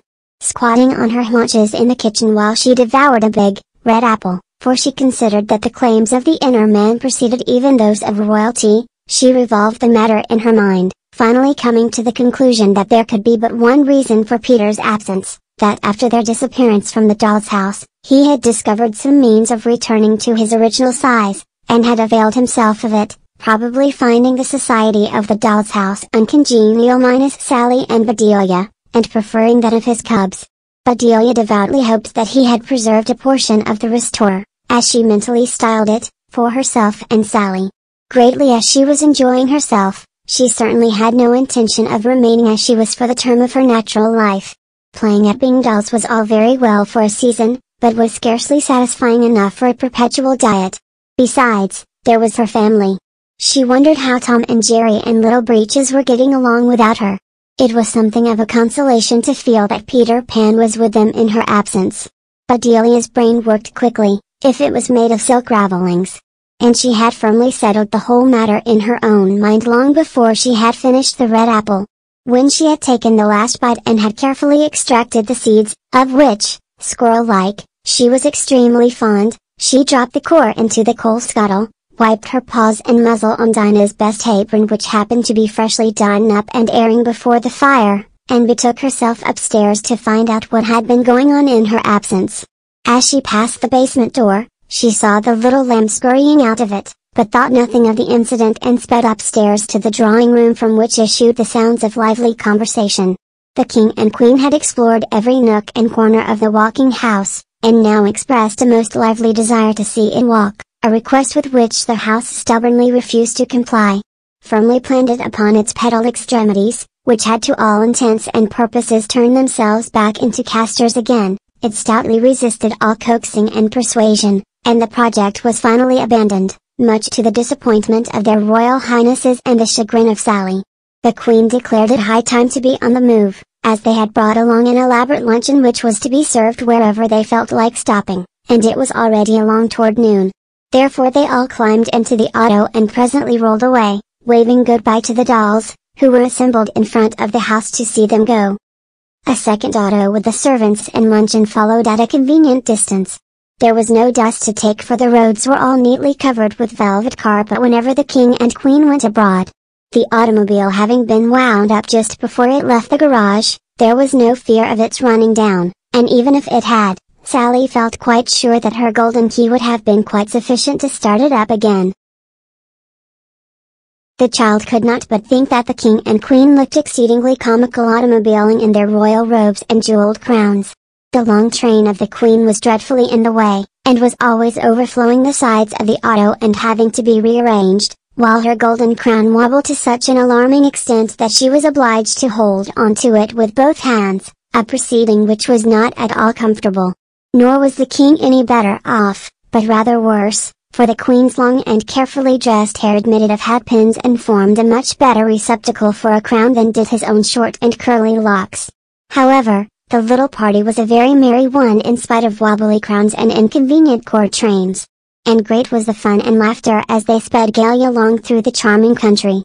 Presently they crossed a rustic bridge and turned into a beautiful strip of woods, and here the queen declared that their luncheon should be served. It was, indeed, a lovely location. A silvery stream rippled by and formed a charming cascade, the water having been turned on from headquarters for the benefit of the royal party. A number of birds of brilliant plumage hopped about among the green branches, most of them warbling sweetly. That they had all been wound up for the special occasion Sally did not for a moment doubt, but she was already so well accustomed to this sort of thing that she did not in the least mind it or consider it queer. As for Bedelia, she had never noticed the difference. Just then the servants who had been approaching, bearing the big hamper in which the lunch had been packed, suddenly dropped it and retreated with every semblance of terror. Sally's heart sank into her boots, and she glanced nervously over her shoulders to ascertain if Bedelia were missing. But the little bear was close behind and with the rest of the party rushed forward to see what on earth ailed the royal servants. The hamper lay upon the ground, while in one side yawned a great hole. And within appeared a long, solemn face, terminated by a considerable growth of beard. For Mary did not always find it quite convenient to shave her little lamb as often as was really necessary. The goat's beard had sprouted, although the horns had not, and was proving a great nuisance to everybody concerned. In a moment the solution of the whole thing burst upon Bedelia. She remembered having seen the little lamb skipping out of the basement door and surmised that he must have hidden himself in the automobile until they were all underway and had then chewed a hole in the side of the hamper, as he could not unfasten the lid, and finally managed to squeeze himself in by dint of throwing out a number of articles utterly valueless to goats but considered quite indispensable to royalty. Of course all this had taken place behind the backs of the servants, who evidently had never once looked around. Poor Sally, who recognized at the first glance the countenance of the little lamb, felt that it would have been a huge relief had the ground opened and made one mouthful of her. She was too much scandalized, as well as too honest, to join in the terrified exclamations of the royal couple, who, however, had but short space in which to express their emotions. Not seeing any good reason why he should remain in his rather cramped quarters, which he would have deserted much sooner had he not feared to jump from the rapidly moving auto, the little lamb suddenly wriggled out through the hole in the humper's side and taking nimbly to his heels, scampered away and disappeared among the trees, leaving the royal party to mourn over its departed feast. Chapter 11 The Polly-Nosed Saphead No one ever was awakened in Sleepy Town, but everyone slept just as long as they choose. Consequently the morning was well advanced before the king and queen awoke, and sat up yawning and stretching in a very unregal manner. In fact, it was just like the awakening of ordinary folks. And when they had gotten through with this performance, they stood up and arranged their robes and put on their crowns which they had carefully hung up on a nearby poppy bush. Sally was also awake.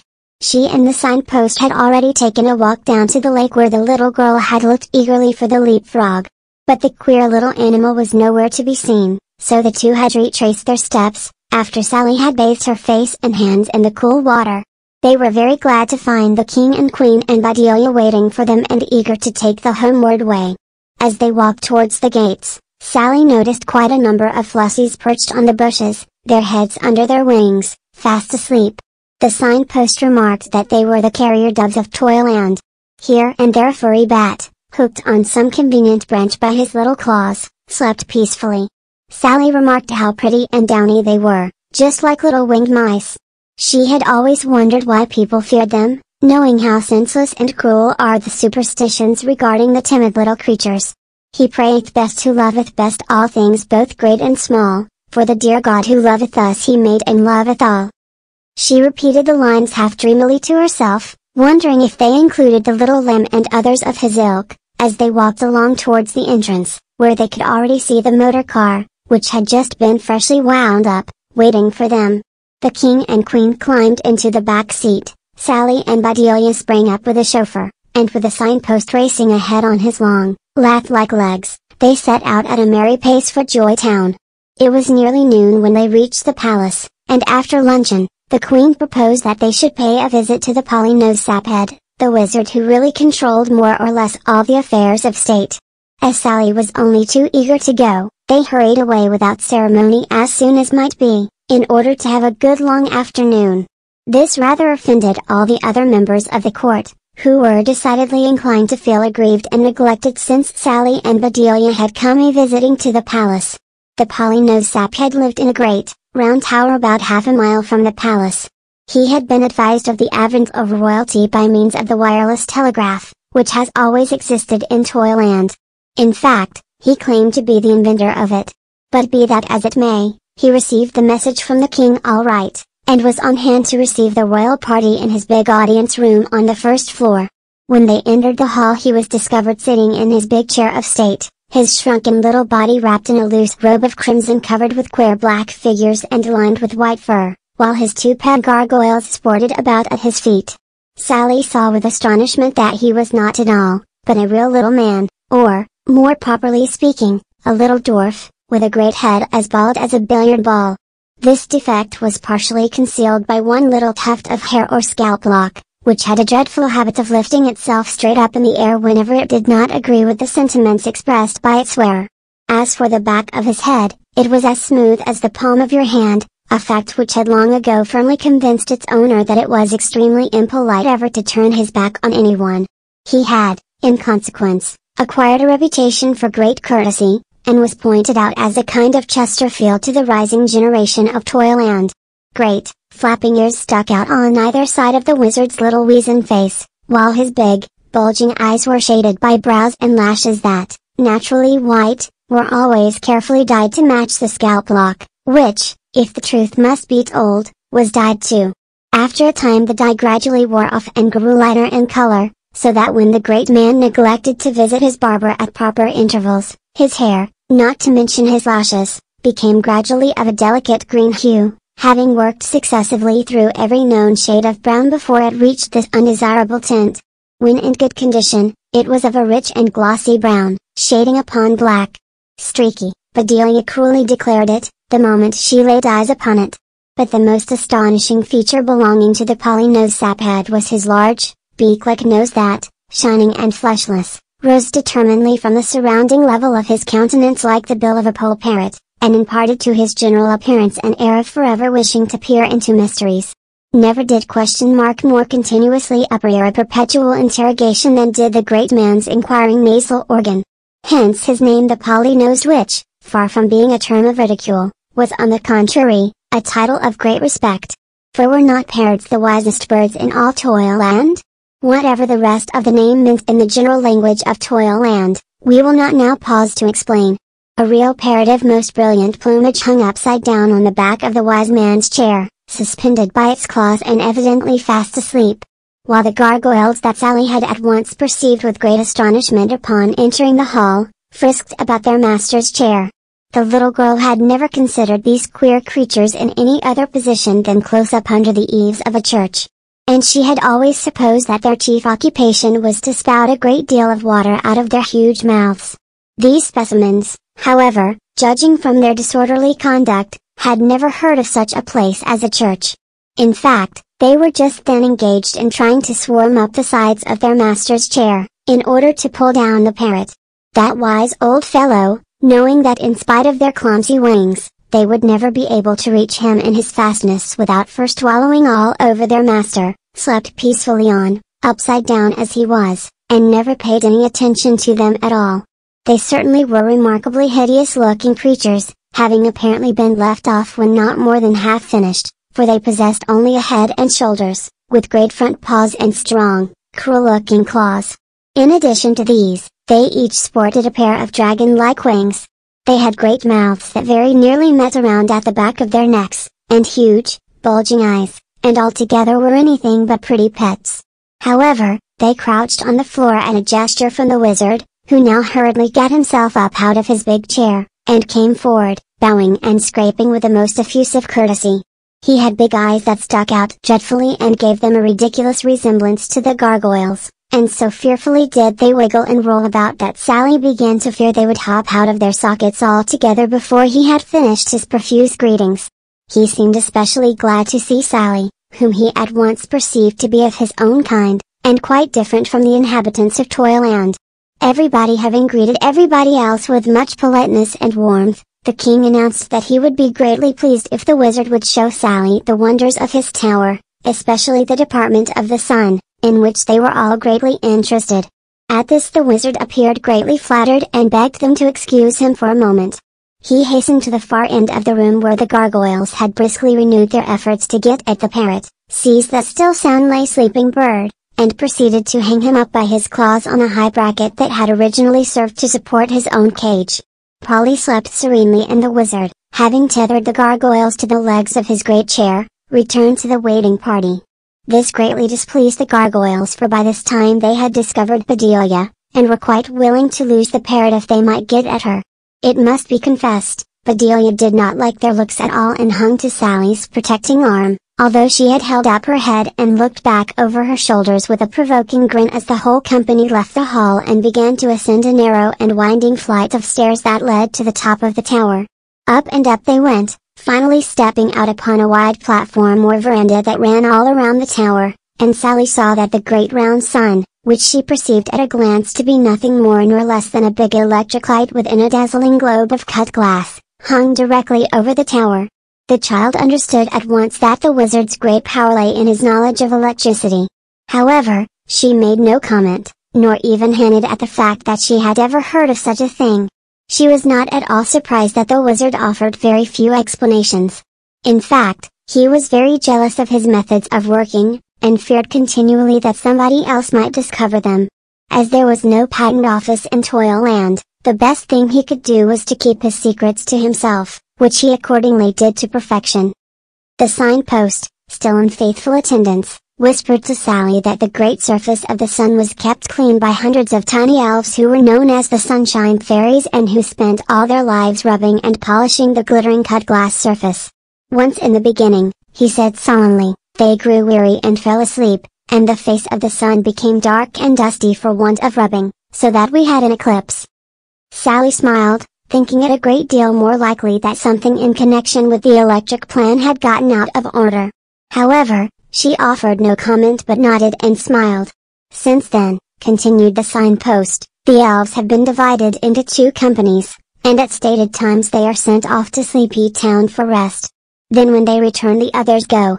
It is a plan that works very well. Much better than having eclipses all the time, broke in Bedelia sharply. She was not very sure what an eclipse was, but had come to the conclusion that it must be something unpleasant and disagreeable.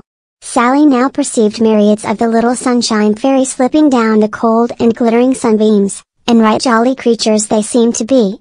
Each one had two pair of hands and arms so that when one pair grew tired of rubbing and polishing, the other might come into play. Sally was not surprised to find the sunbeams cold, as the moonbeams in Sleepy Town had been warm and quite spring-like in their temperature. However, she did feel curious concerning the manner in which they were regulated, as the sunlight at noon was ever so much brighter than it was at morning or evening. Accordingly she inquired of the ever-ready signpost, as she had a vague idea that the wizard rather disliked being questioned. It was immediately explained to her that the light was regulated by means of many folds of soft gauze, which were operated by means of ropes and pulleys and in as many thicknesses as were required. They were also in various shades of yellow, pink and violet and soft gray, so that a most beautiful twilight could at any time be had for the asking by simply arranging the gauze in appropriate color and thickness. It all seemed so simple that Sally was beginning to think the wizard had won his fame very easily. That personage, who had of course felt obliged to give the most of his attention to the king and queen, now led the way down the narrow and winding stairs, a journey which the signpost made in about half as many steps with his long legs. Very shortly they were back again in the big audience hall. Everything was just as they had left it, the parrot still asleep and hanging up like a bat by his claws, and the gargoyles both dozing, one under the wizard's great chair and the other upon it, each with one eye open. Sally, who had noticed Bedelia's somewhat hostile attitude, was relieved to find all the creatures asleep. But they were not long to remain so, for the noise made by the party in returning speedily woke them. The parrot, with a shrill cry, flew straight to her favorite perch on the back of her master's chair. Being still half asleep, she did not perceive the dear little pet that occupied it until a lusty tug at her tail and the dreadful consciousness that she had parted company with several of her best tail feathers caused her to fly to the floor, squawking and chattering. Immediately both the gargoyles gave chase, but Polly, far from retreating, turned boldly to face her tormentors. In a moment Bedelia had thrown herself into the thick of the fray and there ensued a very bad quarter of an hour for everybody all around. Fur and feathers flew and Polly, reinforced by Bedelia, would have scored a signal victory owing to the fact that the gargoyles were tied up, while the parrot, after delivering a series of blows with beak and claws, could always get out of the range of their jaws. Finally the wizard, whom none of them seemed to mind the least bit, succeeded in restoring order. The gargoyles were driven off to a far corner where they were tied up in disgrace, and Polly, minus her tail feathers, was shut up in her cage, squawking and protesting every step of the way. Meantime, Bedelia quickly secured the bone of contention, namely the brilliant tail feathers, and stuck them into her fur behind her ears, where they stood up impudently, giving her rather the aspect of an Indian squaw. Peace having been restored, afternoon tea was brought in and served by a number of jumping jacks, who were in fine livery and powdered wigs. The jumping jacks were exclusively in the service of the wizard and very fine servants they proved to be. To be sure, one of them would occasionally collapse and fall in a limp heap on the floor, scattering tea and cakes all over the place. But as jumping jacks usually do collapse and sprawl on the ground unless properly held up by the string that always grows out of the tops of their heads, no one seemed to think anything of it, or to mind it in the least. It seemed rather a shame to Sally that they should be compelled to wear powdered wigs, thus covering up forever that most important string. The poor creatures could never be quite sure when they were going to collapse. Besides, what a quantity of tea and cakes was always being wasted. She could not exactly figure it all out and confided her dilemma to the signpost. He remarked that even were the powdered wigs dispensed with, there would be no one to hold up the strings. While this was very true, it did not help Sally in the least, and she was rather glad when the queen declared that it was time to leave, and the whole party, having bade goodbye to the wizard, with thanks for the pleasant if somewhat strenuous visit, returned to the palace. Chapter 12 The Weather Prophet Although there was no night in Toyland, a species of twilight prevailed after a certain hour, not dark enough to require lights, but it still proved deliciously restful after a day of perfect and brilliant sunshine. These twilights were, of course, engineered by the wizard from his tower, and by means of the gauze arrangements that the signpost had explained to Sally, were blue, pink, yellow, green, and so on, according to the fancy of the magician. It was quite the fad to give afternoon teas that matched the twilight in color, and as a bulletin was posted each morning at the wizard's front door announcing the shade of the twilight to come, the rest was an easy matter. As soon as the diminishing sunlight proclaimed the approach of evening, myriads of fireflies were let loose in all the rooms of the palace, furnishing all the light that was necessary. Indeed, Toyland knew nothing of lamps or candles, gas or electric light. The cooking was all done with fuel, the secret of whose preparation was known to the wizard alone. It was non-explosive and burned without consuming away, so that one good-sized chunk would last forever. In fact, when a person went to invest in fuel, he first had his cook stove measured and then ordered to be sent home a block of exactly the right dimensions. When he wanted it lit all he had to do was to use the bellows that hung by the side of every stove. This started the fire at once, and an occasional application kept it going. When the bellows was hung up for good, the fuel went out. In every kitchen was employed a boy who did nothing but blow the fire with the bellows. With such a state of affairs, conflagrations were unknown and, in fact, unheard of. To be sure, there were plenty of iron fire companies who appeared at intervals with other toys from the world of human beings, but their occupation was gone forever, and they were obliged to seek other pursuits, usually being given a place in the standing army, a position for which their brilliant uniforms easily fitted them. On this particular evening after returning from the wizard's palace, it was a pink evening, by the way, it was announced much to Sally's delight that the weather prophet had declared snow for the following morning. If Sally was pleased, she was just as much astonished, for the weather was warm and the month she was quite sure was June. However, as the wizard managed the weather prophet, who was only his mouthpiece, no one ever knew, it appeared, what sort of weather might be expected within the next few hours. The queen suspected that snow had been ordered for Sally's benefit, and said so with a smile, while the king suggested that they should all go over to visit the weather prophet, as there was nothing especially amusing laid out for the evening. This was readily agreed to by everyone, and as soon as dinner was over they all started forth to walk to the house of the personage who ruled the weather. The evening was beautiful. A rosy flush rested upon everything, while every wayside tree was filled with fireflies. To be sure, Bedelia declared that the pinkish glow made them all look as if they had scarlatina. But as no one in Toyland had ever heard of such a thing as scarlatina, her joke fell very flat indeed. A short walk brought them to the house of the weather prophet. At one period of her life Sally would have called it a glass box, set up on end. And that was certainly what it did look like. They caught a glimpse of a mass of fluffy drapery within and then Bedelia exclaimed in a tone of disappointment and chagrin, Why, it's nothing but a paper doll. Sure enough, a paper doll it was, and a lady doll at that. Sally had seen just such dolls hung upon her Christmas trees year after year. In fact, she had often helped to make the fluffy skirts of plaited crepe paper. The signpost here whispered that the skirts were really the most wonderful thing about the weather prophet, as they changed color with the changes of the weather. Sally now observed hanging over the door a glass sign on which was printed in large, golden letters. When I wear pink, a storm is due, when skies are clear, my skirts are blue.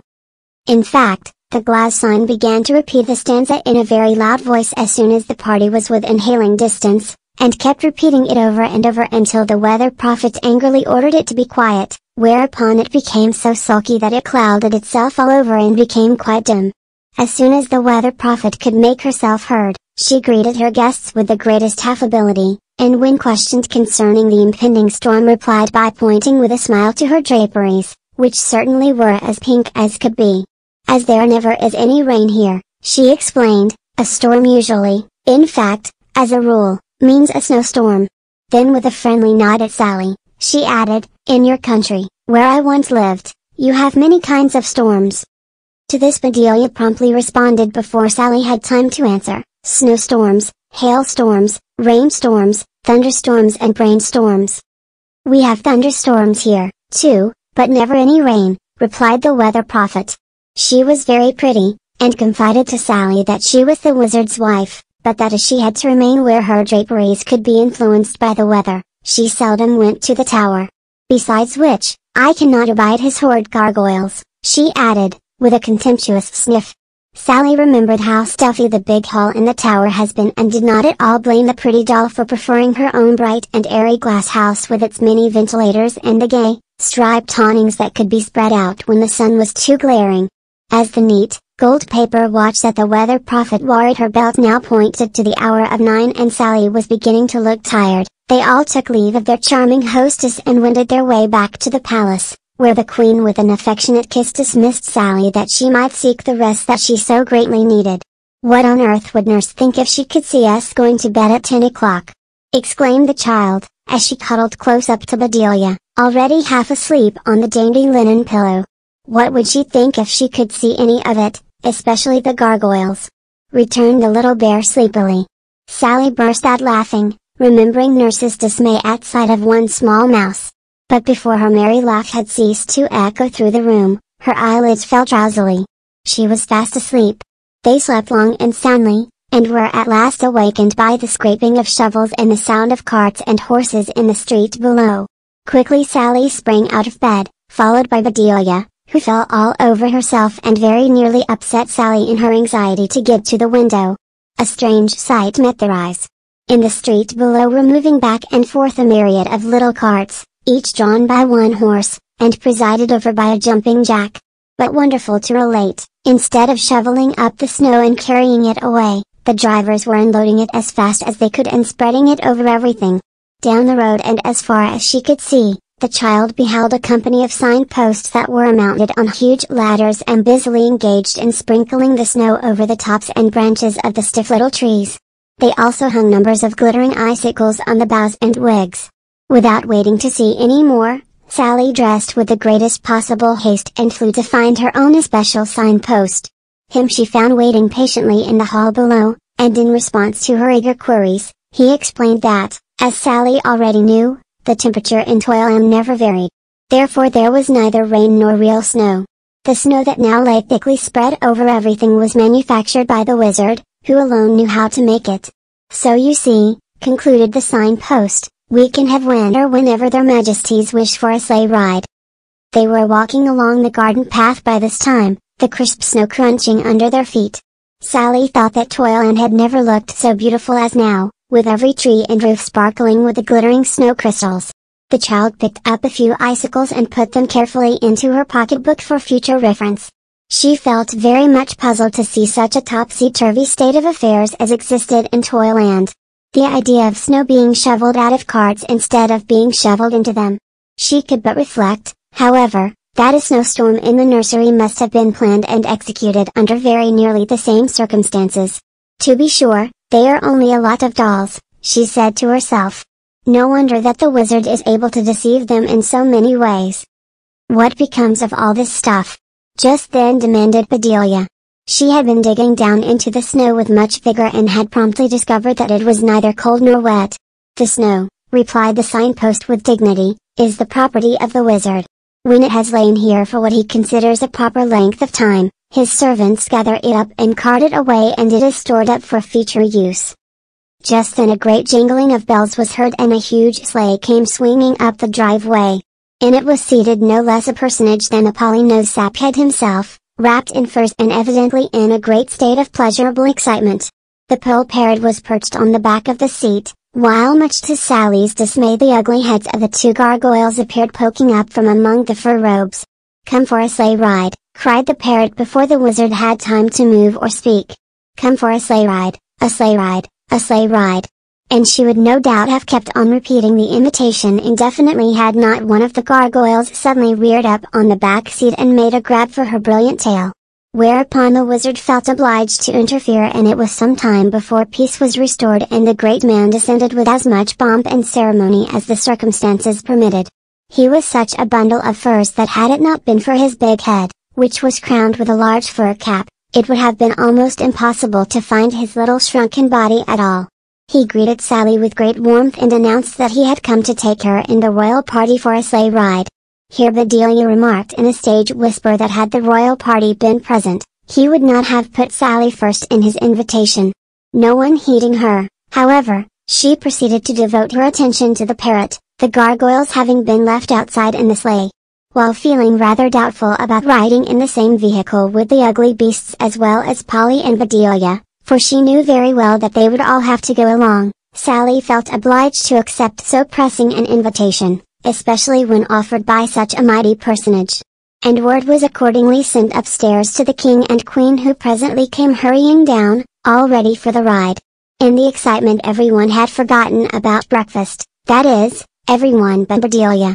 She now dived below stairs and made a swift trade on the dining room, whence she shortly returned with every evidence of having restored exhausted nature with a great number of cookies, judging from the crumbs that adorned her fur.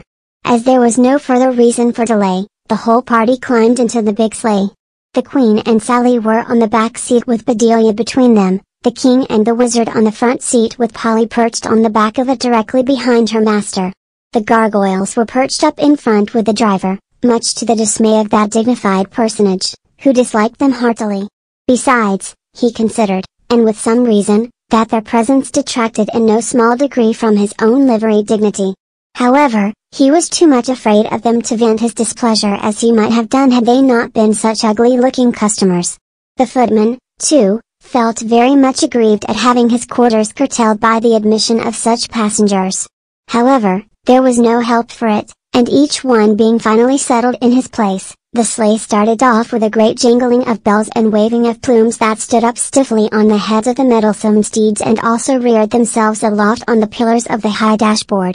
The wizard remarked that he had invited his wife to come along but that as she objected to so much livestock, she had preferred to remain where she was.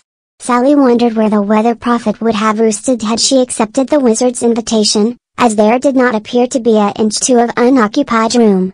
However, she said nothing and the sleigh sped merrily along, finally leaving the city and swinging out into the open country. Here also winter fair and sparkling prevailed in all its dazzling splendor. The king remarked that there would be fine skating to which the wizard replied that he had caused several pair of skates to be brought along and that they would try the skating pond when the ladies had had enough of the sleigh. This proposition was hailed with delight by all concerned. Sally could not help wondering where they were going to find any ice. Her curiosity was presently satisfied when the sleigh drew up beside a large sheet of clear glass, which had been lightly sprinkled with the snow powder, so that it was not too slippery for roller skating. Roller skating it was to which the wizard now invited his guests. And in a few moments they were all speeding merrily along, each one trying to outstrip the others. Even the gargoyles each buckled a pair of skates on his front and only paws, and joined the merry company and by dint of balancing themselves with their wings, they managed very well indeed. The queen was highly delighted as the skating pond was something entirely new, and the whole party remained circling round and round until the wizard, looking at his watch, suddenly declared that it was high time for twilight and that although it greatly grieved him to stop so delightful a diversion, he really must hasten back to his tower in order to attend to the same. He added that his wife desired the party to take tea with her and that it would be a lavender tea. Everybody now took off the roller skates and piled into the sleigh, the homeward way being taken by a different route in order that they might lose none of the beauties of the scenery. As they approached the spot on which the pretty little glass house of the weather prophet had stood, a cry of dismay broke from the lips of all, at least all but those of the wizard. The house was gone, and not the smallest trace of either house or prophet remained to tell the tale. Neither did the most systematic search reveal anything. The baffled wizard retired to his tower to consult the stars, as he declared, while the rest of the party hurried to the palace to get their own lavender tea. Chapter 13 A Mysterious Disappearance Great was the hue and cry raised over the disappearance of the weather prophet, and dear the dismay of the general public, that had daily flocked to the pretty little glass house to learn the very latest advice from the Weather Bureau. They greatly feared there could now be no further predictions concerning sun and storm, for there never had been but one weather prophet within the memory of anyone, even the oldest of all. Even the wizard knew nothing concerning the material of which his wife's magic skirts were made. A weather prophet she had been, although badly in need of repair, upon her arrival in Toyland, and her like had never been seen, would never be seen again. Queerer even than her disappearance seemed to Sally the vanishing of her glass house. Perhaps, like the walking house, it had found feet and eloped, carrying off its owner, whether willing or not. Even the loquacious glass sign was gone, which proved conclusively to the logical mind of the wizard, or at least he so expressed himself, that the house had run away with the lady, and that at that very moment she was no doubt placidly following her profession of prophesying in some far distant region. Bedelia, as usual, had her own opinion concerning the matter, and went about looking mysterious. Sally, who greatly feared that the little bear was planning mischief, was much relieved when she finally spoke her mind. I believe that bald-headed old terror knows where his wife is, she declared one morning while the two were wandering through the palace greenhouses. She had two pet flussies and they are gone, too. Now, even if she was carried off by her glass house against her will, she could have sent them back with a message. Anyway, it isn't likely that she went of her own accord, for she is so well known all over Toyland that wherever she went, the wizard would be sure to find it out and bring her back. Besides that, she had no reason for running off. Everybody liked her and made a fuss over her. Well, then, whatever do you suppose has become of her? inquired Sally breathlessly. The child had had her own misgivings, remembering the pretty doll's dislike for her husband's pets. You don't suppose the gargoyles could have underscore eaten underscore her? She added hurriedly. No, and I don't believe the Polly flew away with her, retorted Bedelia scornfully. I believe she is hidden somewhere within a very short distance from here. The wizard has some motive for getting her out of the way. You know he said she had refused to go sleighing with the rest of us. He probably said that just for effect. But what could he have done with the house? demanded Sally. Oh, that could easily have been taken to pieces and moved away. He had those imps of gargoyles to help him, replied the little bear. Then after a moment's thought, she added reflectively, as you know, the king and queen have gone away on business for a couple of days. Suppose we try to unravel this mystery all by ourselves. I am sure the signpost will help us. He can run very fast, besides being so tall he can get at almost anything. Of course we won't mention what we are doing to anyone. It may be that I am on quite the wrong scent. But there's no harm in trying. And Sally having given her delighted consent, Bedelia trotted off to find the signpost, singing at the top of her voice. The owl, and the eel, and the warming pan they went to call on the soap fat man, the soap fat man he was not within for he'd gone for a ride on his rolling pin, so they all came back by way of the town, and turned the meeting house upside down. This ancient classic somehow, it seemed to Sally, applied to the situation in hand, only it was Sally and the signpost and Bedelia instead of the owl and the eel and the warming pan. A bright idea suddenly struck the little girl, and she could scarcely wait until Bedelia returned with the signpost to announce it to them. Bedelia, Dear, she exclaimed, if we are going to be real detectives, we shouldn't use our own names, because real detectives never do. Let us call ourselves the owl and the eel and the warming pan. It will be so lovely and mysterious. Bedelia clapped her paws with delight at this proposition, while the signpost beamed approval from his lofty height. With capitals, of course, continued Sally. And now which of us shall be which? After some discussion, it was decided that Sally should be the owl, with a capital, Bedelia the eel, while the long and lean signpost should be the warming pan. This mighty problem having been settled, they proceeded to hold a council of war and finally decided to set forth at once upon their mission. They concluded to go on foot and, if it were not possible to return each night to the palace, to remain wherever they could find lodging. The signpost, while he had no opinion of his own at all concerning the disappearance of the weather prophet, was glad to fall in with the plans of anyone who had, and Sally perceived with delight that he was going to be a most valuable addition to their detective force. By noon their simple preparations were completed and they set forth merrily enough, having concluded to go over the nearby ground first, then if they discovered nothing to proceed to regions more remote. Bedelia's idea that the subject of their search was hidden close by seemed sensible enough. She might be in the wizard's tower for that matter. The disappearance of the house was what bothered all of them. What use could anyone have for Vanishing Glass House? It was really most mysterious. They walked on, discussing the subject that was so troubling them when suddenly the sound of heavy paws padding along behind them made them turn quickly. And they beheld hurrying along after them a big, white figure that Sally recognized at once as the large polar bear rug that lay at the side of the queen's bed. He had come to life most beautifully and only flopped in a very small degree, considering his boneless condition. He came up panting a little and wagging his huge head amiably as is the fashion with polar bears. I was underscore so underscore afraid you would get away, he said in a panting voice, as he linked arms with Sally and quickly fell into step with her. Then he added, Aren't you surprised to see me? I never did such a thing before. Ever since I can remember, I have lain beside the Queen's bed. But this morning I felt that I had reached the limit. Do let me go along with you. I am thirsting for adventure. Do you think you could walk so far? said Sally, eyeing his somewhat wobbly legs rather doubtfully. Besides, what will the Queen say when she returns? I shall not be there to hear, replied the polar bear sullenly. And as for walking, I can go along with the best of you. Besides, you will find me very useful, for when you are tired, I will spread myself out and you can rest comfortably on my long, soft hair.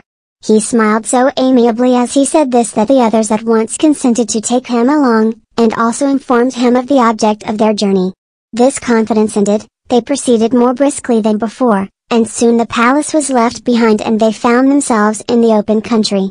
At the edge of the town Sally saw a most peculiar looking tree whose queer leaves, some square, some oblong, no two of them alike, were white instead of green, and rustled with a sound like sweetest music as the wind whispered softly through them.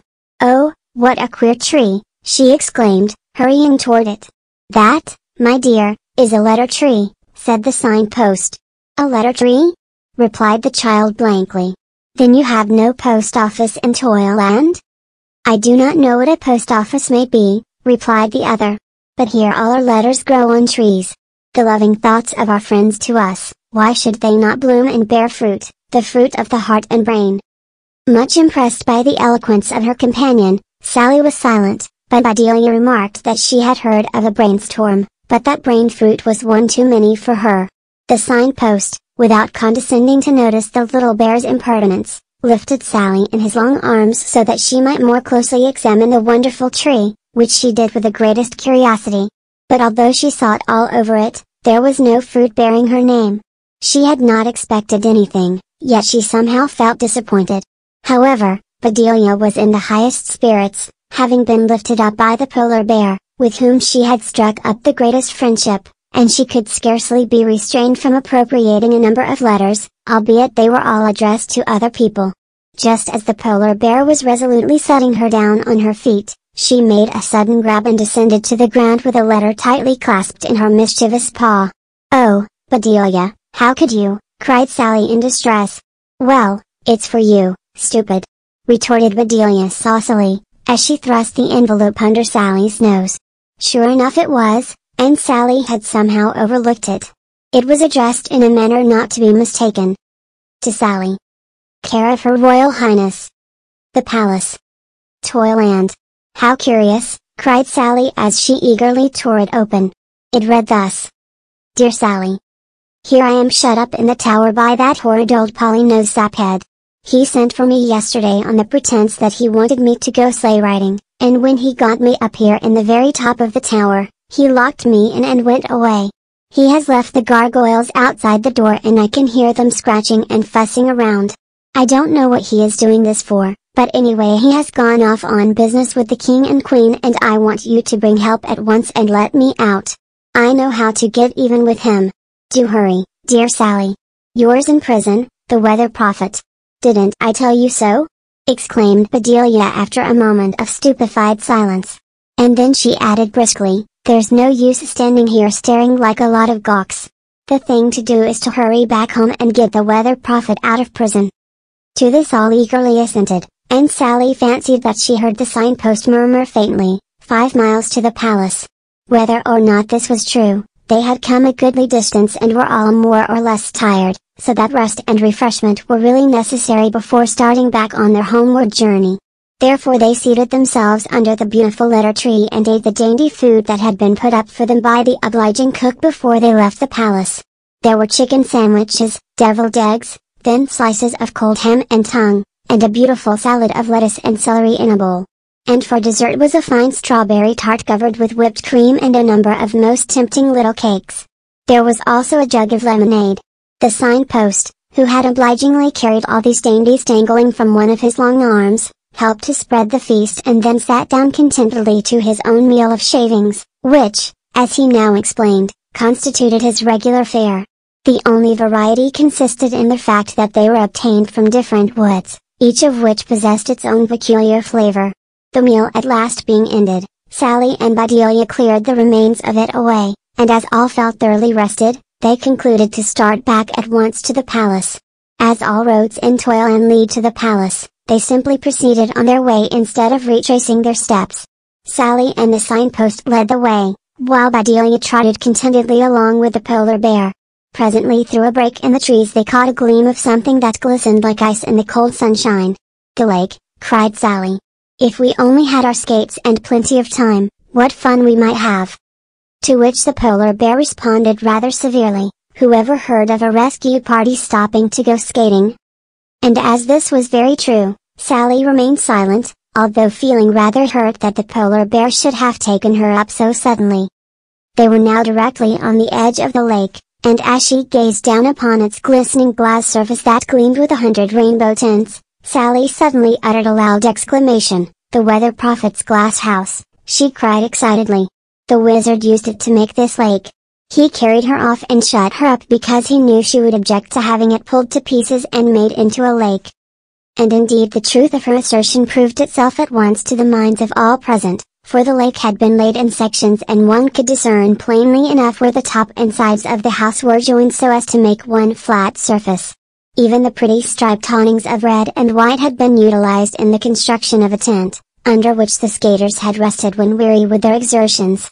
Indignation at the meanness of the crafty old wizard and sympathy for his pretty little wife was expressed by all, and they at once hastened forward, more resolved than ever to rescue her from the clutches of the wizard, or to perish in the attempt. They made very good time, the signpost carrying Sally and Bedelia turn and turn about when either felt tired. But it was near the hour for twilight before the towers and gables of the royal palace came into view. Sally suddenly remembered that in the absence of the wizard there would probably be no twilight, a fact that she had not before thought of. They would have to do their work in broad daylight. However, they hurried along and were soon in the grounds of the wizard's palace. High up in the tip-top window of the lofty tower they saw fluttering a tiny white object that was evidently the handkerchief of the poor little prisoner, for having seen them she was waving it frantically. All was silent and deserted. The wizard had locked up everything securely and had given a holiday to his servants, fearing that they might notice the effort of his prisoner to make herself heard, which effort she was pretty certain to make. Consequently the little party had nothing to fear in the way of encountering guards. How to effect an entrance was, however, quite another matter, for everything was bolted, barred and padlocked. The problem was finally solved by the signpost, who stood on his very tiptoes and triumphantly boosted Bedelia in at the third story window, which had been left open as being too high up to offer a means of egress for the prisoner. Chapter 14 The Eclipse Once inside, Bedelia quickly gave a hand to Sally and in a moment the little girl, lifted up by the signpost, stood beside the small bear. The signpost now swiftly swung himself up to the balcony, being assisted in no small degree by the polar bear, who for various reasons remained below. He was to keep watch and give notice if anyone approached. It was now arranged that as the signpost was far too tall to navigate around inside of the house, he should climb from one balcony to another until he reached the top and if possible effect the rescue of the wizardess from the outside. This seemed very satisfactory to Sally and Bedelia, neither of whom exactly liked the idea of encountering the gargoyles which they knew were wandering about, unfettered, in the dark halls. Anxiously they waited, watching the long legs of the signpost as they trailed over the edge of the upper railing. Then they disappeared and all was painful suspense for what seemed at least a century. Then at a shout from the polar bear they both rushed out on the balcony. They beheld the signpost swinging himself swiftly down from balcony to balcony, which he appeared to do with the utmost ease and looking more like a big spider than anything else, all legs and arms. Clinging to his neck was the weather prophet, her fluffy skirts flying every which way in the fine breeze. Presently he had reached the ground and having gently set his fair burden down, he quickly scrambled back again and hastened to bring down Sally and Bedelia, who were beginning to feel a wee bit nervous as they had tried the door of the room in which they were and had found it locked on the outside. And right thankful they were to find themselves on the green grass below, comforting the little weather prophet, who was overjoyed to find herself at liberty. Where she should go was the next question. The wizard might return at any moment, and her own house was a house no longer. Suddenly an expression of delight flashed over Sally's face. Let us go to the walking house, she exclaimed. You will be quite safe there and if anyone comes in pursuit, the house can easily escape with you. To this the weather prophet gave a joyful assent. Let us go quickly, quickly, she cried. I feel it in my bones, in my skirts, I mean, that we are going to have something very unusual. In fact, according to the calculations, we are going to have an eclipse of the sun in about a quarter of an hour. Here she winked at Bedelia with a gesture so comical that the little bear rolled over laughing. Come, don't let us delay, exclaimed the rescued one, and hand in hand they hurried away from the wizard's tower, which was soon completely obscured from view by the thick trees that surrounded it. At the edge of the park they paused and as the distance to the walking house was several miles, the signpost suggested that he should procure a conveyance and also some wraps for the weather prophet in order that none might recognize her. Accordingly he disappeared swiftly and soon returned with one of the autos from the royal garage. As for Sally, Bedelia and the weather prophet, You could never have told one from the other in their coats and goggles, while the polar bear cuddled around their feet, thus keeping them nice and warm. Away they flew, the signpost for once in his life perched next the chauffeur with his long legs doubled up as much as possible and the rest of them hanging over the dashboard. The chauffeur was an old oyster, who had been chosen for this capacity because he was underscore dumb underscore, and could not voice his suspicions provided he felt any. As the walking house stood on the very edge of the town, it took at least 15 minutes to reach it, and although the chauffeur made good speed, just as they were drawing up in front of it, darkness, sudden, swift and ominous, fell upon Toyland. It was altogether a hopeless darkness, for which the inhabitants of Toyland were totally unprepared.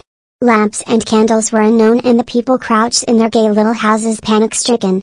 Only in the walking house did lights appear, for in accordance with custom, candles and candelabra adorned mantels and tables, and it was the work of only a moment to light them all. Gaily Sally and her party hurried into the house, Sally racing downstairs to find Dinah, for they were all as hungry as wolves, while Bedelia escorted the guest of honor upstairs to remove her wraps. The polar bear stretched himself before the front door, making a very effectual guard in case of danger. At Sally's suggestion, all the shades were drawn down so that no ray of light might pierce the outer darkness, darkness that covered everything like a muffling cloak, in which the inhabitants of Toyland were helplessly floundering about, and which was sure to last until the wizard came back to set things straight. And a fine time he'll have doing it, remarked the weather prophet with a toss of her pretty little head. He won't be able to see his hand before his face, and I took care to leave his old electric machines in such a muddle that he'll have his hands full, fuller than they've ever been with all the cares of state included. Sally, who had suspected as much, tried to reprove her, but ended by laughing outright. The weather prophet was so very like Bedelia when in her impish moods. As for Bedelia herself, the idea tickled her so that she laughed until she rolled off the sofa on which she had been sitting and proceeded to bounce up and down on the floor like a fat rubber ball. Then as soon as she was able to get her breath, she sat up, panting and rubbing the tears out of her eyes with both paws. My face is leaking. I must be turning into a gargoyle, she exclaimed, which of course started everybody laughing all over again. By this time all the dolls had come crowding down into the parlor to be introduced to the new arrival. Sally did not consider it wise to introduce the weather prophet by her real name, feeling that if a strict investigation should be made, it would be safer if none of the dolls were aware of her identity. So it was that she was known to the inhabitants as Nellie, a name that had suggested itself to Bedelia. Sally feared that her own disappearance and that of Bedelia would be connected with that of the wizard's wife, and therefore resolved to take every precaution. The eclipse of course would retard any search that the wizard might see fit to make. But what to do with the fugitive lady for the rest of her life was a question. She flatly declared she would never return to the wizard and was wild with rage when she learned the use to which her pretty little glass house had been put. While all the pleasant acquaintance making was going on in the walking house, an automobile containing a badly rattled wizard was slowly picking its way along the inky blackness. The old gentleman was shrewd enough to guess the cause of the eclipse, although he had been quite sure in the beginning that his wife was locked up too securely to be able to get at anything. He had started forth at once, greatly against the wishes of the king and queen who, of course, could not understand the cause of his anxiety, and who much preferred to stay behind until the sun shone again. But the wizard had taken immediate flight, and was now hurrying back to his tower as rapidly as circumstances in the eclipse would permit.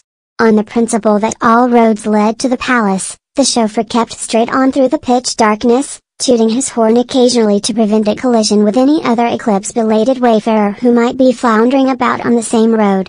The snow made it somewhat difficult and altogether the trip was anything but a pleasant one, and the Polly-nosed saphead was glad indeed when he at last found himself in front of his gloomy tower.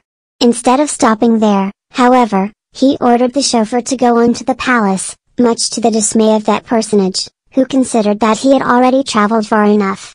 Nevertheless he put on speed and soon arrived at the royal residence. Here the wizard quickly alighted and hastened into the palace.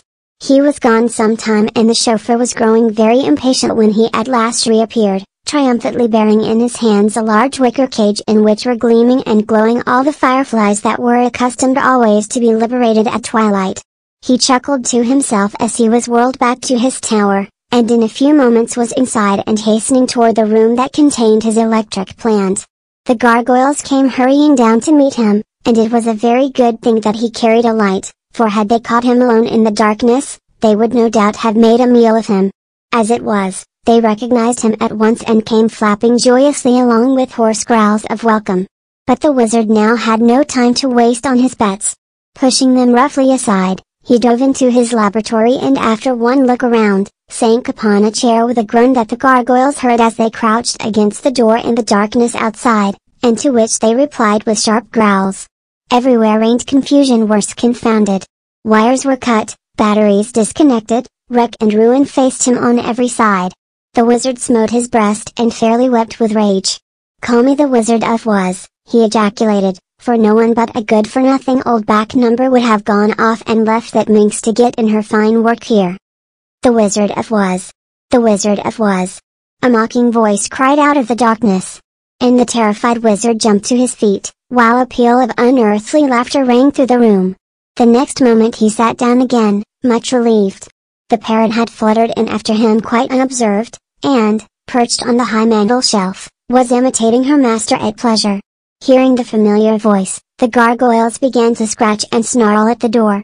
They considered it very unfair that the parrot should be allowed inside while underscore they underscore were banished to outer darkness.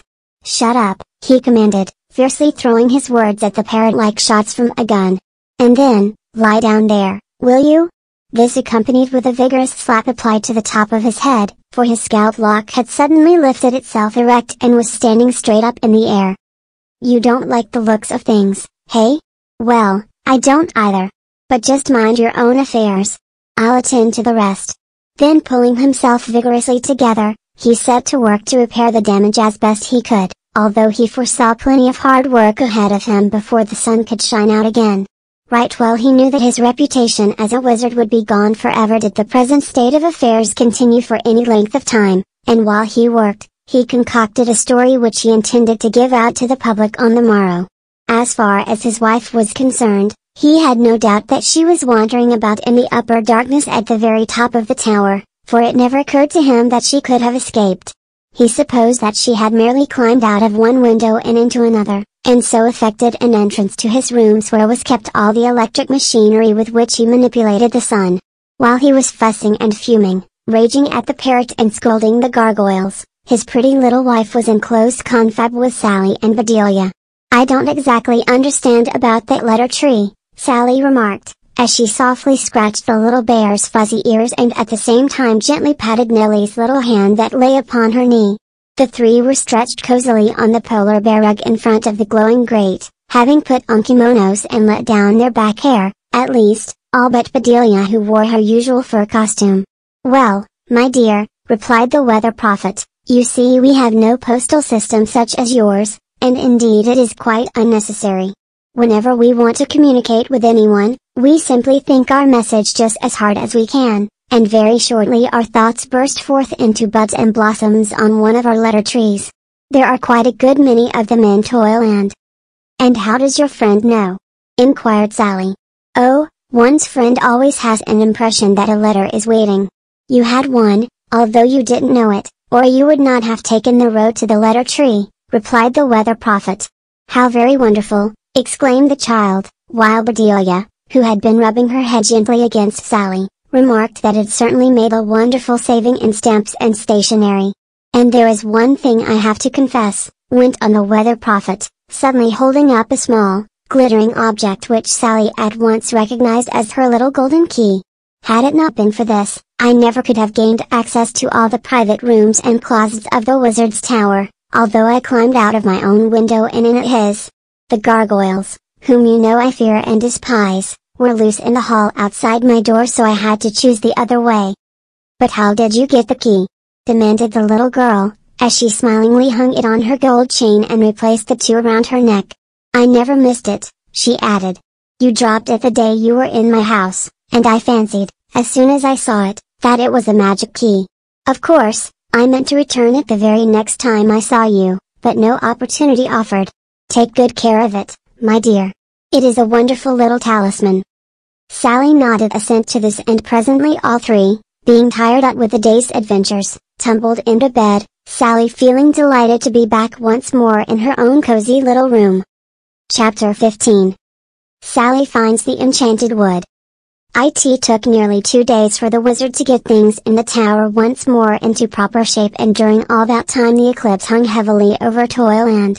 The wizard had worked feverishly with no light save that obtained from the fireflies that he had stolen from the palace. He was shaking in his shoes for fear the king and queen should return and find that the only source of illumination had been cut off.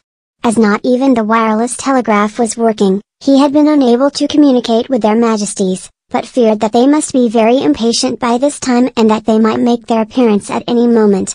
It was difficult to get on with only the light afforded by the fireflies, and he chuckled grimly as he pictured the weather prophet, who had so reveled in the sunshine of her glass house, pining in the darkness in which he supposed she was locked up. The room in which he had left her was on the opposite side of the tower, and he had only to cross the hall to reach it, but he savagely vowed to himself that he would not go near her, and that he didn't care if she starved to death. After a while, however, the extreme quiet got on his nerves, and he began to wonder how it was that no sound at all came to him from the room across the hall. Presently he tiptoed very softly to the door and listened. But all was still as could be, nothing moved or breathed. He went back to his work, but a feeling of uneasiness possessed him. The queen was very fond of his pretty wife, and he knew that he would be called to strict account should he be the cause of any ill befalling her. After a little while he went back again and listened, but still he could hear nothing. After a moment of hesitation, he opened the door and went in. By the radiance afforded by the fireflies, he saw at once that the room was empty. Even the food that he had left there was untouched. A hurried visit to all the other rooms on the floor failed to discover the object of his search. Really terrified, he sat down to consider. Suppose she had thrown herself down from the balcony, and was at that moment laying on the ground below, dashed to pieces. He had not the courage to go and investigate. For like most people who brag a great deal about themselves, the wizard was an arrant coward. He fled back to his work, stopping not for food or rest, with the result that on the morning of the third day the sun shone brilliantly once more over Toyland. A great notice was posted at the gate of the tower, announcing that the sun had been swallowed up by an enormous dragon known to science as the Ictotherium, that the wizard had engaged him, single-handed, and by his magic arts had compelled him to disgorge his brilliant meal and flee the country. The bulletin went on to state that the weather prophet had been carried away by the dragon. Prompted by curiosity, she had exposed herself on the high balcony at the top of the tower, contrary to the advice of her husband. The notice concluded with the announcement that there would be a purple twilight that afternoon, beginning promptly at 5.30 and advising that violets would be a suitable adornment for the afternoon tea tables. Great was the grief expressed by everyone when the fate of the wizard's pretty little wife became generally known, for she had been a general favorite. Indeed, public sorrow almost outweighed public joy, delighted as everyone was that the sun shone once more. The wizard shut himself up in his tower and refused to see anyone, and the general supposition was that he was prostrated with grief. To tell the truth, his jumping jacks were scouring the country to see if they could discover any trace whatsoever of his wife, while he himself was nearly wild with anxiety lest she should suddenly pop up at some unlucky moment and give the whole thing away. Early that morning Sally had started for the tower, as she knew that a bulletin of some sort would be posted.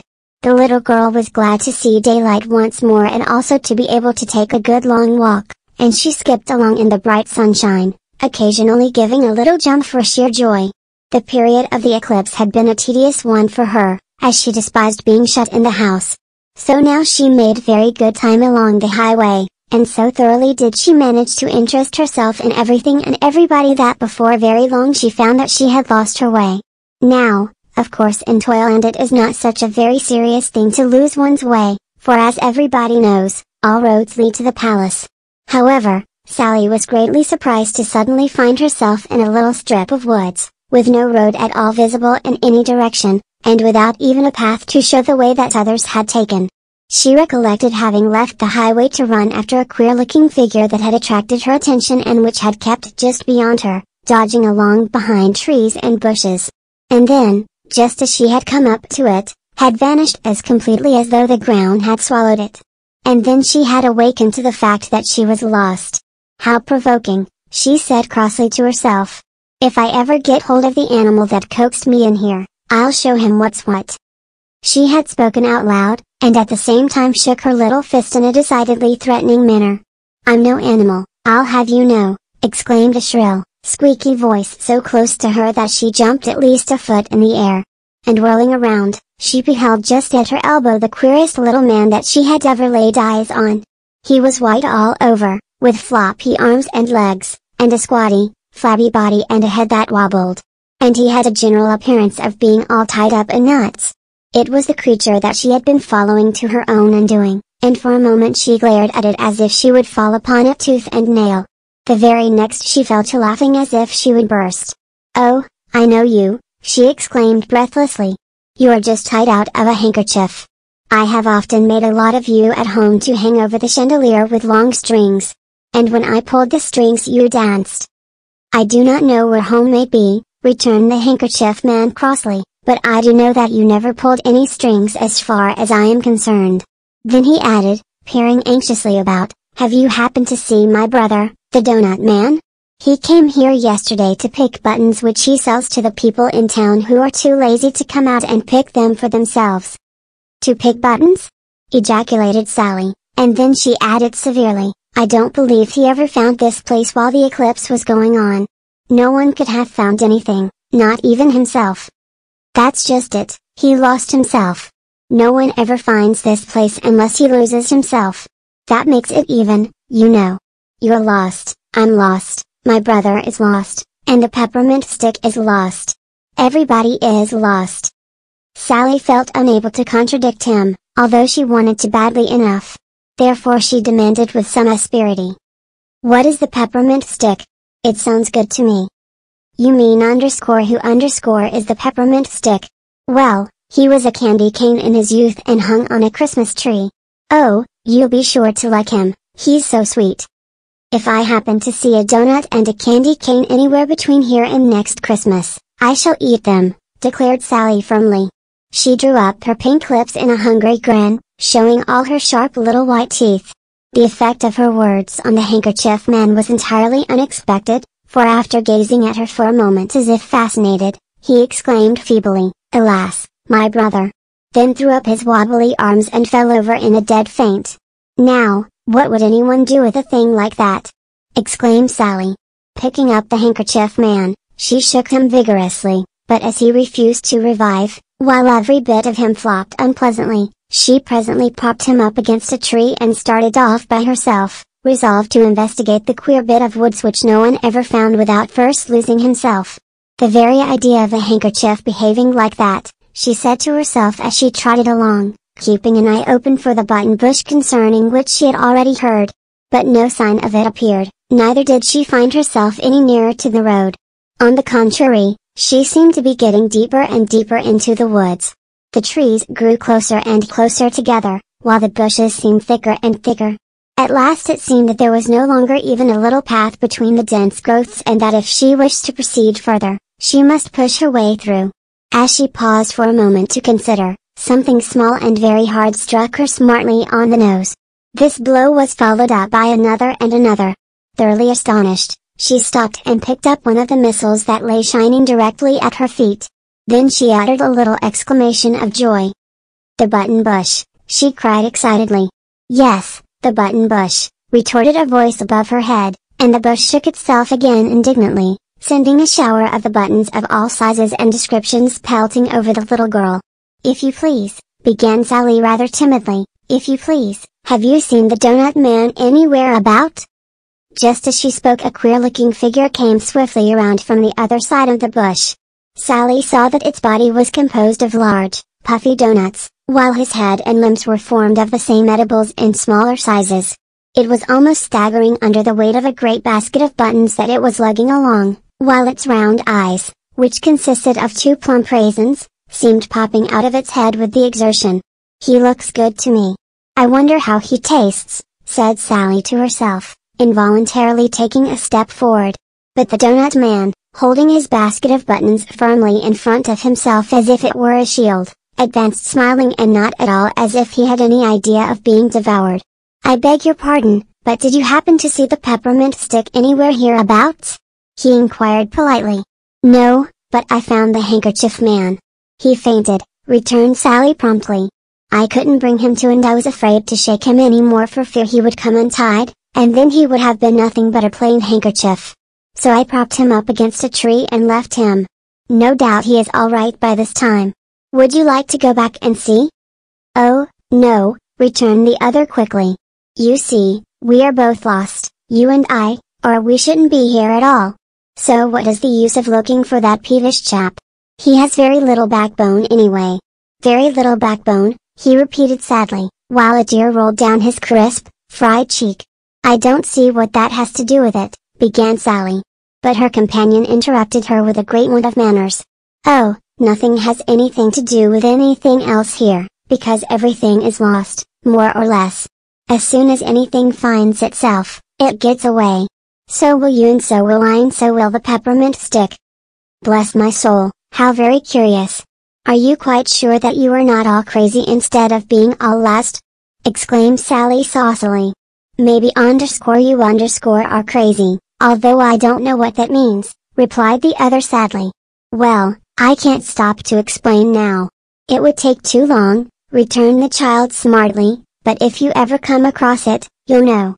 Anyway, if you had your brother here now, you could mop up your tears with him, and as she spoke, she dexterously flipped away a large, round one that hung trembling on the very end of the donut man's stubby nose. There you go again. Really, it's very upsetting when one doesn't understand a thing you mean. Then there's the button bush. She's mad again because I came for more buttons. What good are buttons on a bush, anyway? They've got to be picked while they're ripe or else they all go to seed. Really, it is very unreasonable. I suppose you have a good trade in buttons, suggested the little girl politely. But who, pray, is the peppermint stick? Is he good to eat? She called herself hastily, somehow feeling that the donut man would be displeased by what she had been on the verge of saying. Something under her apron warned her that it must be near lunch time, for her breakfast had been but a light one, and then she was underscore very underscore fond of peppermint. Yes, indeed, I have a very good trade, replied the donut man. Only it would be more congenial if the button bush would quit giving herself such ridiculous airs. As for the peppermint stick, he isn't good for anything in particular as far as I know. Long ago he was a cane and was hooked on the bough of a Christmas tree. No one ate him and he had a bad fracture, the result of being dropped. So in the course of time, he drifted here and the glue glues fixed him up. The only thing I don't like about him is that he is striped. Now I simply abominate stripes, although I adore polka dots. But tastes differ. Perhaps you like stripes? I don't mind them at all in peppermint, replied Sally.